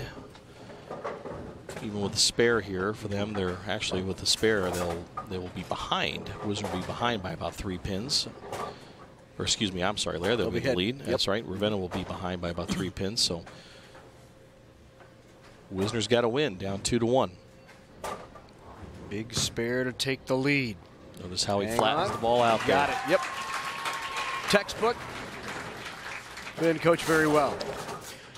So we'll switch at the fifth frame and let you know that if you'd like to preserve these memories for a lifetime, the memories of the State High School Championship, you can get a DVD of the NHSBF Championships by logging on to nhsbf.com. Just follow the links and you can order a copy of this year's boys or girls State High School Bowling Championships. Girls, of course, competed last week, and the guys finishing it up here today. Good shot by Wisner Pilgers, Philip Wolt. Another strike by Philip. Philip's been delivering so far, not uh, not hurting his team, both in the open frames. Better shot there. Very good shot. Staying right there, still a nine pin lead by Wisner Pilger, but that strike kept them right in the hunt. Here's Tanner Schmidt. Schmidt, get it. One, two, four remaining. And now Ravenna can regain the lead with a strike here. Here's Riley Pates. Seeing now people trying to steer the ball. We all have to aim, of course, in bowling, but sometimes if you steer the ball, it just means you're over aiming, and over aiming can cause you to, to miss your mark, especially to the left if you're a right handed bowler. Nice cover there by Tanner. Wisner back into the lead now, Larry. Mm-hmm. Important spare here. Don't want to go down any more than they already are. And nice conversion. Oh, good cover by Riley Pates. Back up on the left lane, Jake Schultz. Keeps Ravenna right there. They still have a chance to win this and win the state championship here in this fourth game. So a big shot here with Wisner. Needs to skid. Oh, what a tough break. Wow. Yep.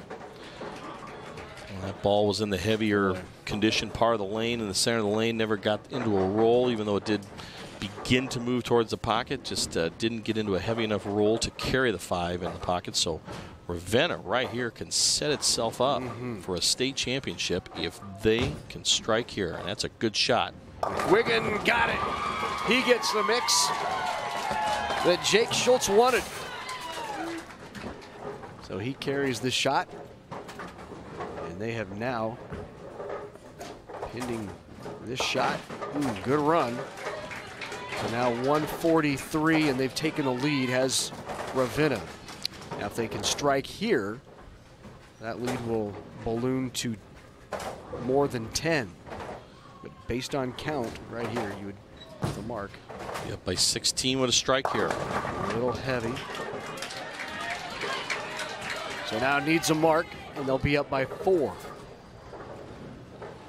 I don't know if this is a must strike situation here, but if it's uh, if it's not, it's real close for Wisner. Yep. Important shot here for Drennan Hengst. Oh, and he made a good shot. Set. Ooh. Just about ended up with the 4-7-9 split.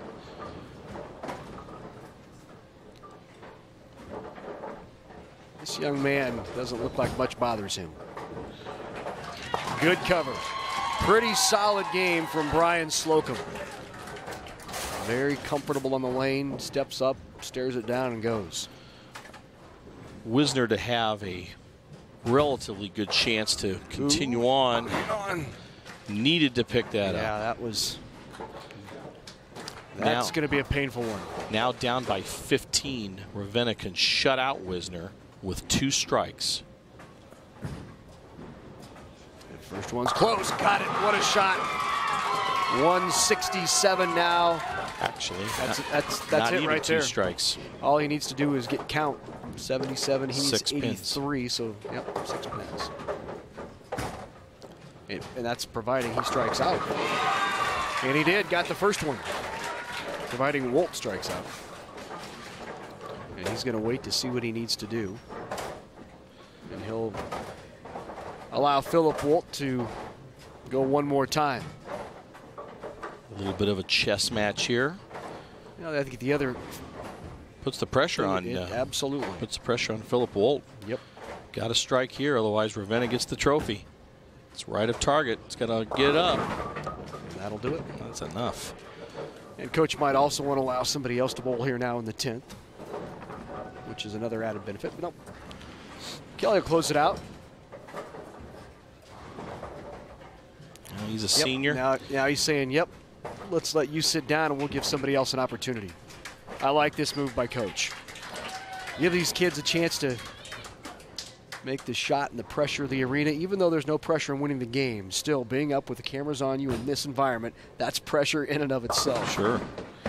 So the championship will go to Ravenna.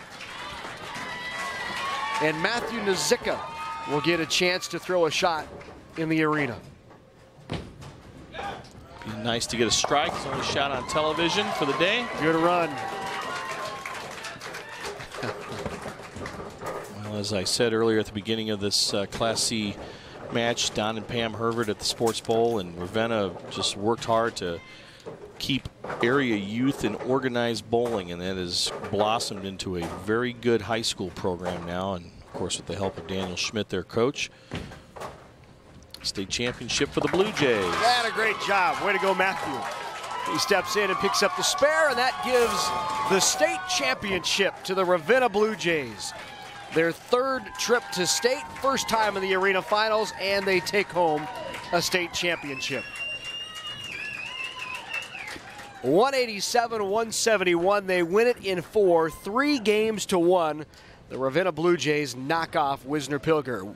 When we come back, Steve Simpek will chat with the champs and we'll also hand out the trophies and wrap up our day long coverage of the Nebraska High School Bowling Federation Boys State Championships.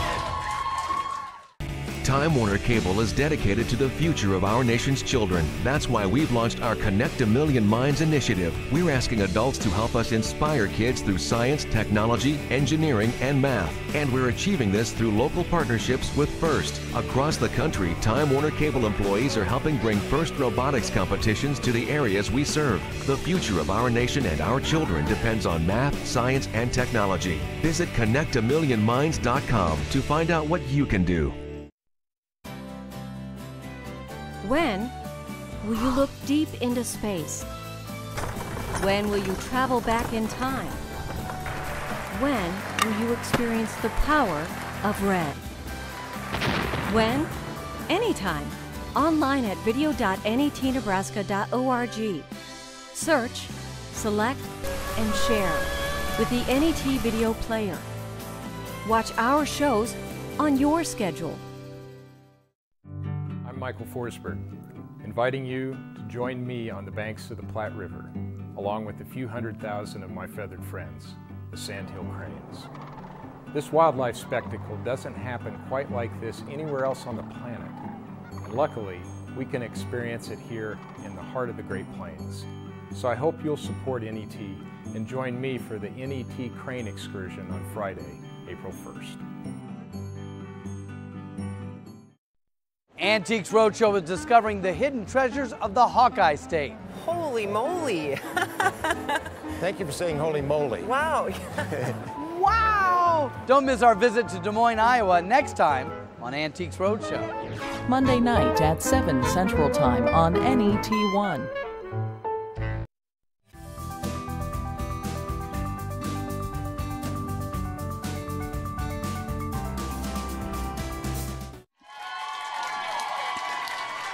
Welcome back to Sun Valley Lanes as we wrap up a day long of Nebraska High School Bowling Federation Championships, and it is concluded in Class C where Ravenna knocks off Wisner Pilger three to one after losing the first game. They come back and take the next three. Steve Simpek is with our champs. Let's go to Steve. Oh, all right. Thanks a lot, Larry. And here we are with Coach Daniel Schmidt, first state championship for the for the Ravenna Blue Jays in the boys Class C division, uh, and we've got three seniors here. As Larry and I uh, talked in the booth, we decided who we wanted to talk to. We felt since it's a strong senior-laden team, we were going to bring out all the seniors. We got Brian Slocum here. We also have uh, Kelly McFadden, and we've got. Jacob McGuigan and uh, Coach. Uh, so now you've got a trophy to match the girls. And uh, what's it mean to have all the seniors on the team, and what's it mean for the seniors to leave a little bit of a legacy for the underclassmen?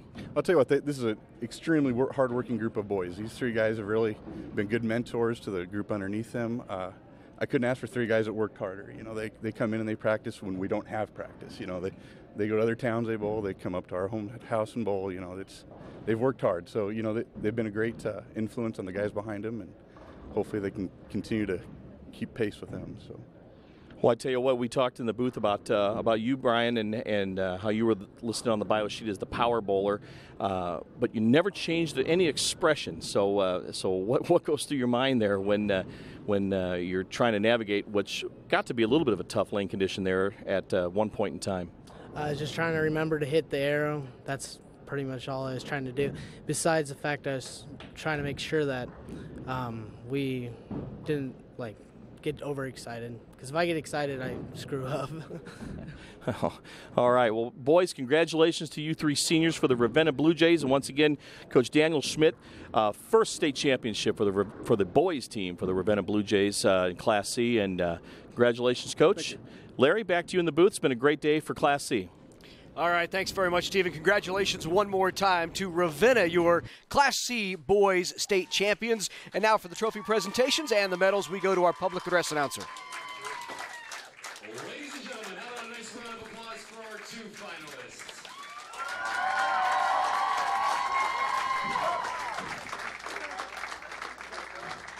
And now for the rewards presentation. Your Class C Boys runner up, the Wisner Pilger Gators. Led by coaches Krista Geese and Kathy Geese.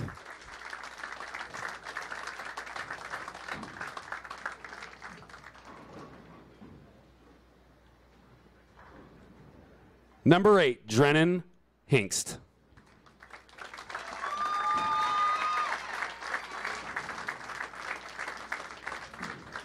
Number one, Philip Wolt.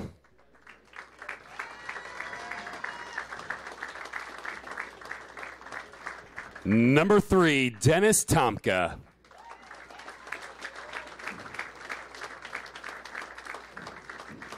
Number 11, Jake Schultz.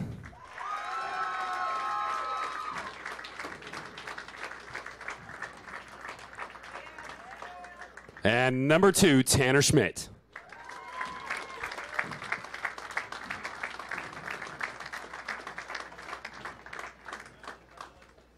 And here's your runner up trophy. Congratulations to the Wisner Pilger Gators, your Class C boys runner up.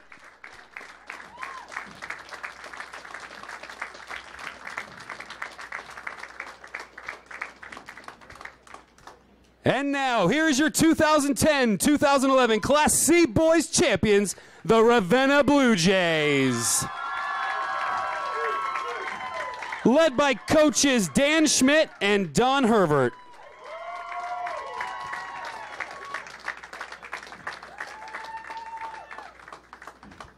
Number two, Riley Pates.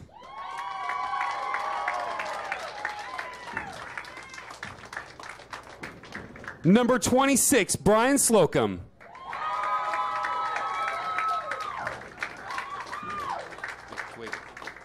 Number 21, Jacob McGuigan.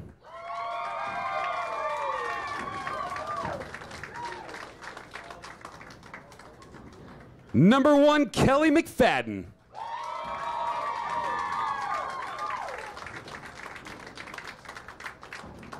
Number 17, Dexter Barrett.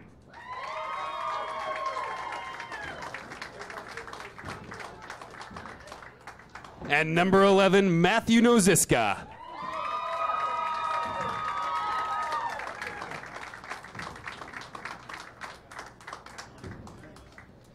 And here's your championship trophy.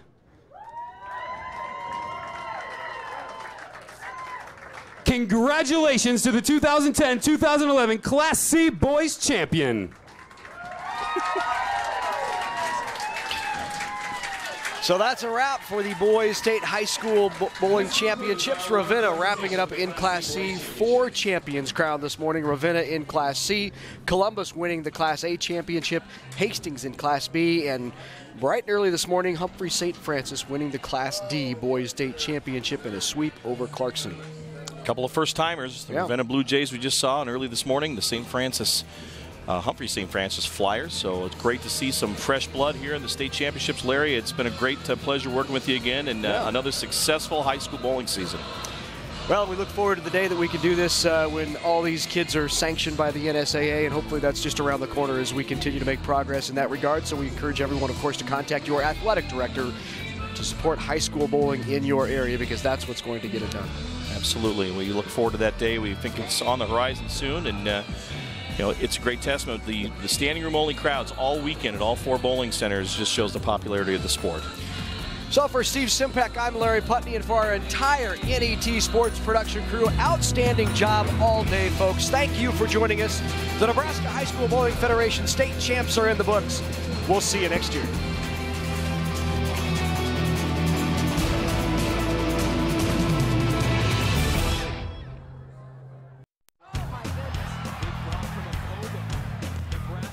I'm Jeff Beckman. If you enjoy sports action on NET and if you want to see this excitement continue for many generations, consider making a gift to the NET Endowment Fund.